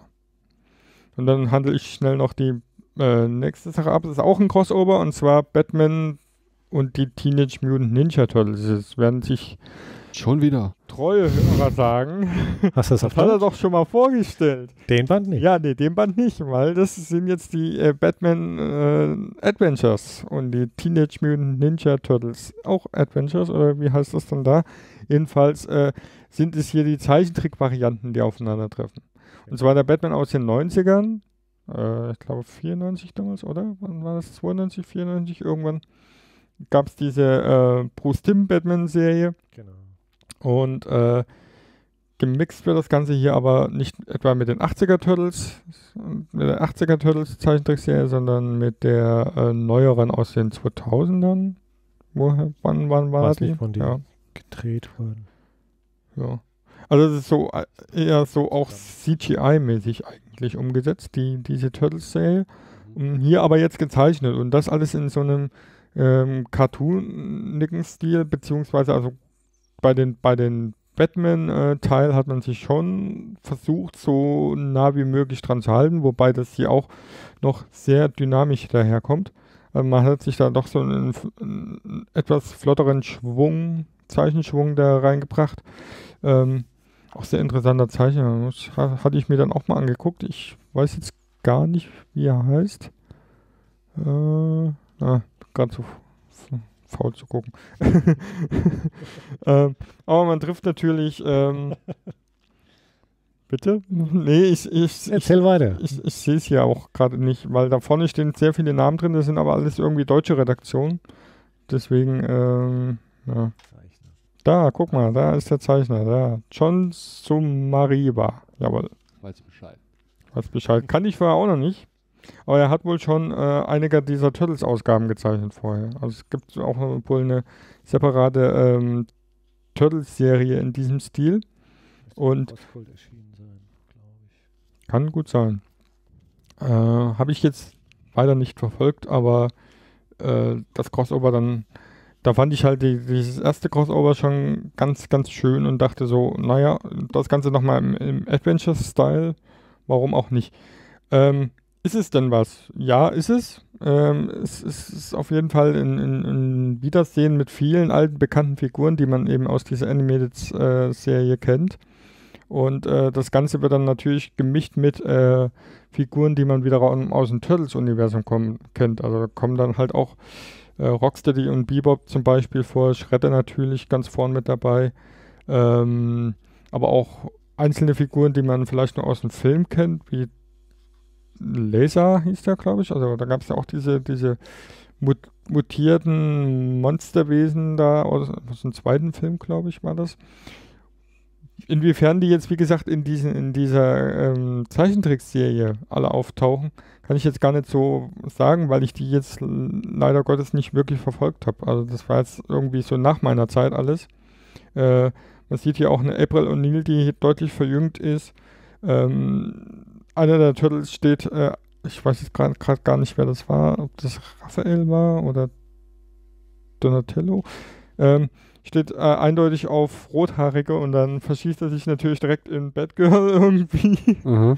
Und das Ganze sind äh, fünf Ausgaben eigentlich, plus einer sechsten. Und die spielt dann ähm, etwas in der Zukunft, nämlich in der, in der zweiten äh, Batman Adventures-Reihe, die dann etwas später äh, gespielt hat, in der dann auch Tim Drake schon der Robin ist und, und äh, Dick Grayson der Nightwing. Da trifft man dann nochmal irgendwie so aufeinander und das wirkte dann so ein bisschen künstlich hinten ran geklatscht, als ob das Hatten wir noch übrig. Machen hatte man wir. noch irgendwie übrig. Ja, man ja. müsste noch irgendwie ein Heft füllen, aber jetzt war der nach der fünften Ausgabe irgendwie mit seiner Story schon durch. Was machen wir denn da? Dann machen wir halt nochmal einen kleinen Sprung in die Zukunft. Naja, hat so ein bisschen un unbeholfen gewirkt, aber ansonsten, wie gesagt, zeichnerisch ist es äh, sehr dynamisch gehalten. Äh, ist, auch, ist auch irgendwie ein Stilbruch vom Zeichnerischen, also im, im, im sechsten Band oder im sechsten Heft, obwohl es derselbe Zeichner ist. Komisch. Wirkt, wirkt irgendwie anders. Aber ist an sich eine schöne, leichte Kost und kann man sich auf jeden Fall mal durchlesen, wenn man beide Franchises mag. Kommt ja auch wieder in diesem Geschenkformat daher, also wo der ein bisschen so- dickerer so, Einband. So, so, so eine Art Prestige-Format, ja, ja. genau. ja. So auch wie die äh, Batman Animated oder Batman Adventures äh, Ausgaben, die letzten, genau. Ja, die auch in solchen Bänden erschienen waren. Bisschen wabbelig. Bisschen wabbelig. Ja, kostet 16,99. Sechs Hefte, ja, typisch Panini. Typisch Panini. Typisch Panini. Ähm, bisschen anderes Papier halt. Jetzt nicht so das Hochglanzpapier, so ein bisschen. eher matt, ne? Aber ja, kann man sich mal angucken, wenn man, wie gesagt, von beiden Sachen irgendwie Fan ist. Und äh, Turtles haben mich ja irgendwie immer begleitet, auch wenn ich, wie gesagt, die neue Serie nicht kenne, aber äh, ja, hat jetzt dem Ganzen keinen Abbruch getan, weil die Charaktere hat man trotzdem alle irgendwie wiedererkannt und auch die ganzen Nebenfiguren. Interessant. Ich muss sagen, die Turtles, da habe ich noch nicht so den Einstieg gefunden. Auch das Crossover mit den Ghostbusters, das es bei Dann hast du Books was mit gab zum Beispiel, habe ich auch nicht so. Was ich gelesen hatte, war das Crossover mit Usagi Jimbo, was beim Dantes Mhm. Erschienen ist. Mhm. Das hatte ich, glaube ich, auch vorgestellt, als ich hier war. ja, genau. Ja, ja. Da habe ich das, das war Ja. nett. Ja. aber so, sonst. Aber es war auch ein, irgendwie ein komplett anderer Ansatz, ne? Die haben die irgendwie für, für, für, diesen, für dieses Heft irgendwie komplett neu erschaffen, die Turtles, ja, die sind dann da entstanden erst Ja. in dieser Welt. Es war keine transdimensionale. Also es gab, glaube ich, schon mal irgendwie nochmal ein anderes Crossover. Ja, da vorher muss es schon mal Ja. irgendwas anderes gegeben haben. Ja. Ähm, ich habe noch zwei Sachen, wobei ich das erste nur kurz machen möchte. Beide Ja. sind vom Avant Verlag, ja, also äh, auch zwei dickere Hardcover. Ähm, nur kurz erwähnen möchte ich Paolo Bacchilieris äh, Comic Fun. Äh, ist genau genommen sind das zwei Teile, nämlich eigentlich besteht dieser äh, Band aus Fun und More Fun, also quasi im zweiten okay. Teil. Ähm, ja, um es kurz zu machen, also es gibt hier halt einen äh, jungen Autoren namens Sino Porno, heißt der gute Mann. Und ähm, Der wiederum ist Bewunderer eines äh, Autoren. Dieser Autor ist äh, Professor Quester. Und ja, äh, Quester und Sino, die beiden wollen quasi ein Buch schreiben über die Geschichte des Kreuzworträtsels, Entstehungsgeschichte und Co. Und wir beobachten in diesem wirklich, also optisch gesehen, wunderschönen Comic, ähm, die beiden dabei, wie sie sich quasi permanent über Kreuzworträtsel austauschen. Das klingt erstmal mega trocken, ist aber Überraschend gut und ähm, auch schön dargestellt, äh, muss man sagen. Und man, also nicht nur, wie sie sich austauschen, sondern denen passiert dann auch noch ein bisschen was dabei. Das ist ganz toll. Es gibt nur ein enorm großes Problem, und zwar, dass die eigentliche Haupthandlung ständig durch irgendwelche Einschübe und Side-Stories unterbrochen wird. Okay. Also wirklich ständig. Und das ist dermaßen anstrengend zu lesen, dass es jedes, weil jedes Mal der Lesefluss unterbrochen wird. Das zerstört jedes Mal komplett die Spannung. Ähm, ich glaube, ich habe zwei von fünf Punkten gegeben, deshalb, oder, oder drei von fünf, weil genau die Optik hat nochmal drei von fünf gerettet, weil es echt schön ist. Ja. Also eine ganz tolle grafische Darstellung. Aber der Lesefluss ist so enorm gestört. Es hat teilweise absolut nichts mit der Haupthandlung zu tun. Das würde mich, das würde mich fertig Das- machen. Absolut daneben. Ich habe es im Urlaub gelesen, mir ging es super gut. Ich hatte ein Bier und einen Strand um mich rum. Also es war einfach perfekt, aber das war nix. Also das kann ich, ganz im Ernst, ich kann auch nicht verstehen, wie man es als Redakteur einfach so durchwinken kann. Aber gut, da haben wahrscheinlich andere Leute andere Sachen entschieden. Insofern, ähm, also wenn ihr jetzt nicht gerade übelst die Fans von Kreuzworträtseln seid, dann braucht ihr das nicht lesen. Rein optisch natürlich toll, aber ansonsten kann ich den Band leider Auch nicht empfehlen. mal so einen leichten Stilwechsel da drin, dann mit Farbe und sowas, ne? Ja, ist mal teilkoloriert. Hammerhead ist auf genau. einmal dabei, ja. Ja, weil dann hat, als imaginäre Person, mit der Sino eben auch ein bisschen spricht und so, Mhm. weil ihm auch was passiert. Er findet sich selbst auch ein bisschen in verschiedenen Figuren wieder. Nee, optisch mal was ganz anderes, aber äh, ja, aber Und inhaltlich wieder so ein Ding, echt. Also das zum Beispiel so, wenn diese ganzen Einschübe nicht wären, wäre das ein gutes Beispiel für Geschichte in einer Erzählung aufgearbeitet. Mhm. Ja, weil, weil Geschichte, also wirklich Geschichte erzählt wird. Ne? Nun gut, ähm, der zweite Band, den ich jetzt eigentlich kurz äh, also auch vorstellen möchte, der ist meine Entdeckung der letzten Monate. Ist ein ganz, ganz tolles Werk und ähm, kann ich uneingeschränkt empfehlen. Ich habe in der Rezension gleich zu Beginn geschrieben, erst denkst du dir, krass, 300 Seiten, das schaffe ich nie. Dann hast du es gelesen und denkst dir, oh schade, nur 300 Seiten weil es einfach ein ganz tolles Werk ist. Und zwar sprechen wir von Die Welt der Söhne von Gippi. Gippi ist ein Autor aus Italien, der mir bereits auf der Frankfurter Buchmesse empfohlen worden ist, Mhm. vom Vertreter des Avant Verlages, den ich natürlich mal wieder mein Mikro unter die Nase gehalten habe. Und der junge Mann, dessen Namen ich gerade nicht weiß, vom Verlag hat ausgiebig von Gippi erzählt, der bei denen wohl einiges veröffentlicht und der ist in Italien wohl ein Superstar. Ja? Das ist also wirklich so, wie man das Europäisch, ja. der steigt aus dem Auto aus und die Leute fangen an zu kreischen, so berühmt muss der sein. Mhm. Ähm, und antwortet auf Twitter. Ich habe den immer mal verlinkt, er antwortet auf Italienisch, ich verstehe kein Wort, aber er ist auf jeden Fall auf Twitter Geil. aktiv. Wahrscheinlich hat er sich voll beleidigt. Ja, oder, oder teilt Sachen und liked Sachen und so, ist schon, also der ist voll dabei. ja. Ähm, Welt der Söhne ist eine Geschichte, die in einer Dystopie spielt. Ein Großteil der Menschheit ist ausgestorben. Warum ist eigentlich egal? Es gab vermutlich sowas wie eine Seuche. Die meisten Menschen sind tot. Im Zentrum der Handlung stehen zwei Brüder, die wiederum ihres Zeichens Söhne sind, von einem Vater. Dieser Vater hat eigentlich nur, der nimmt sich vor, die Jungs so emotionslos wie möglich zu erziehen, so kalt wie möglich, ihnen nur die nötigsten Worte beizubringen, um sie einfach für diese raue, harte Welt abzuhärten, in der sie nur überleben können, wenn sie die Stärksten sind. Eine Welt, in der man eben auch auf die Jagd nach Hunden geht, um was zu essen zu haben. Eine, ähm, wenn man zum Beispiel mit Dynamit fischen geht und die Fische hochholen will, eben eine Welt, in der dann nicht nur Fische hochgespült werden, sondern auch die ganzen Leichen, die am Boden dieses Wassers liegen. Also eine äußerst düstere Welt, ähm, in der ein Menschenleben, ja, ja, also eigentlich egal, weil ob du jetzt wegen einer Seuche stirbst oder ob du stirbst, weil du erschlagen wirst, ist eigentlich egal. Äh, wir erleben, wir gucken eben zu, wie, wie diese beiden Jungs ähm, irgendwann ihre Heimat, ihre Heimatgegend verlassen und äh, auf die Reise gehen, auf, auf die Suche ja, nach Antworten. Unter anderem auf Antworten äh, darauf, was in dem Tagebuch steht, das ihr Vater geführt hat. Ähm, denn man muss wissen, lesen und schreiben zu können, ist in dieser Welt nicht selbstverständlich ein absolutes Privileg. Ganz im Gegenteil, der Vater hat gar nicht erst Anstalten gemacht, den Jungs Lesen und Schreiben beizubringen, um ihnen keine Flausen in den Kopf zu setzen. Sie sollten nicht wissen, was Kuscheln ist, was Liebe ist, was ein Sofa ist. Sie sollten die ganzen schönen Seiten dieser Welt, die sie eh nicht mehr kennenlernen werden, gar nicht erst kennenlernen, um diesen nicht hinterher zu trauern als sie irgendwann diese, ihre Heimat verlassen oder verlassen müssen, nehmen sie das Tagebuch mit, das ihr Vater geführt hat und wollen antworten, was in diesem Tagebuch steht. Was genau darin steht, wissen wir nicht. Wir können es nur erahnen und interpretieren. Es gibt später eine Szene, wo jemand lesen kann und den Jungs nur sagt, ich kann euch nicht sagen, was hier drin steht. Vermutlich hat der Vater gleich auf den ersten Seiten sowas geschrieben wie, bitte lest meinen Jungs nicht vor, was ich hier geschrieben habe. Könnte durchaus sein. In der Welt regnet es dauernd, es ist auch schwer schwarz-weiß, in dünnem Strich von Jibby, der das, wie gesagt, äh, der, der macht das hier wieder mal in Personalunion. Beides von ihm. Ähm, die Jungs müssen sich äh, durch eine Welt schlagen, in der es angeblich eine Hexe gibt. Eine Welt, in der Sklavinnen gehalten werden als ähm, potenzielles Eintauschmittel gegenüber Gangs. Ja, also die sind zum Beispiel irgendwann auf einer Farm von zwei Brüdern, die sind offensichtlich beide mutiert, haben Riesenschädel, sind ein bisschen neben der Kappe, aber hey, sie haben immerhin Schweine und betreiben Landwirtschaft, das heißt, sie haben was zu essen, das ist ein ganz wichtiger Punkt.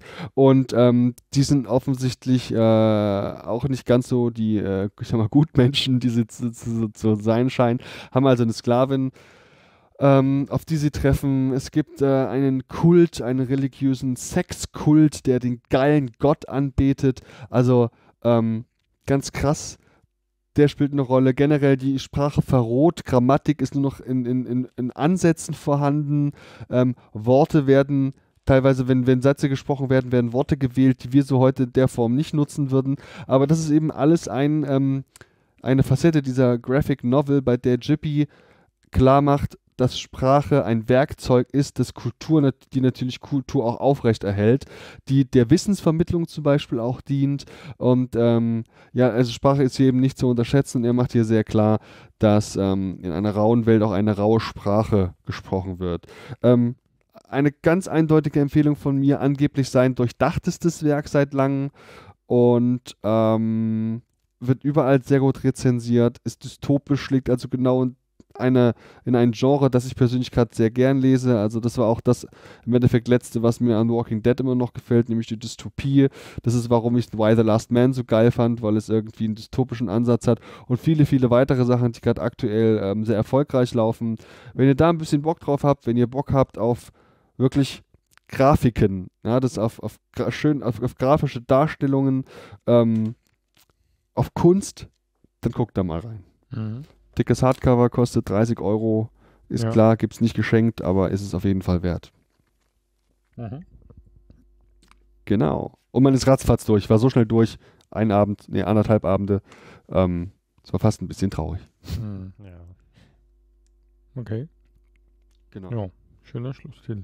Oder hast du noch was? Nee, also ich würde es als Schlusstitel nehmen, weil es. Ich habe auch von dem Buch nur Gutes gehört. Mhm. Ich habe es aber noch nicht gelesen.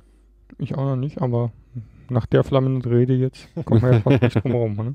Es, es hört sich an wie so ein ja, dystopischer Anime. Also, das könnte man. Wenn das von den Japanern wäre, gäbe es davon bestimmt schon einen Film. Ja. Hier, das mit, mit, mit den Glühwürmchen, das letzte Glühwürmchen. So, ne? Ja. Hm. Ja, ich glaube, damit sind wir soweit durch, oder? Ja, die Amy ist ja auch schon wieder gegangen. Dann können wir. Ja, von, da, Von der daher. Dann bedanken wir uns recht herzlich beim Andi. Vielen Dank für die Einladung. Ja, sehr gerne, immer wieder. Und äh, ja, machen wir nochmal ordentlich Werbung für den Telestammtisch. Hört da unbedingt rein. Ja, lohnt sich, klar. Und äh, lest unbedingt beim Geek Whisperer rein. Zumindest bei den. Ihr müsst häufiger die Comic-Community erwähnen. Ja. Ich weiß, dass man da auch ordentliche, gute Comics, also Comic-Rezensionen lesen kann. Ja, Das natürlich. Breedstorm da jedes Mal zaubert, ist beeindruckend. Ja, der denkt halt, eine Rezension ist mehr als nur den Backcover-Text abschreiben und noch einen Satz dazu, sondern der möchte es wirklich rezensieren und das macht Ja. er sehr, sehr gut. Das stimmt. Ja. Gut. Und wir hören uns dann beim nächsten Mal wieder. Sehr wahrscheinlich Ja. mit dem nächsten Gast, aber da will, will ich jetzt an der Stelle noch nicht ganz so viel verraten. Nein, das Schauen wir tun wir mal. nicht, aber die Hörer, Wenn alles klappt, dann haben wir da wieder einen tollen Gast für euch. Ja. Und äh, ja. Und der Andi ist auch wieder eingeladen bei Super. einem der nächsten Male und dann klappt das. Vielen Dank. Tschö. Tschüss. tschüss. Die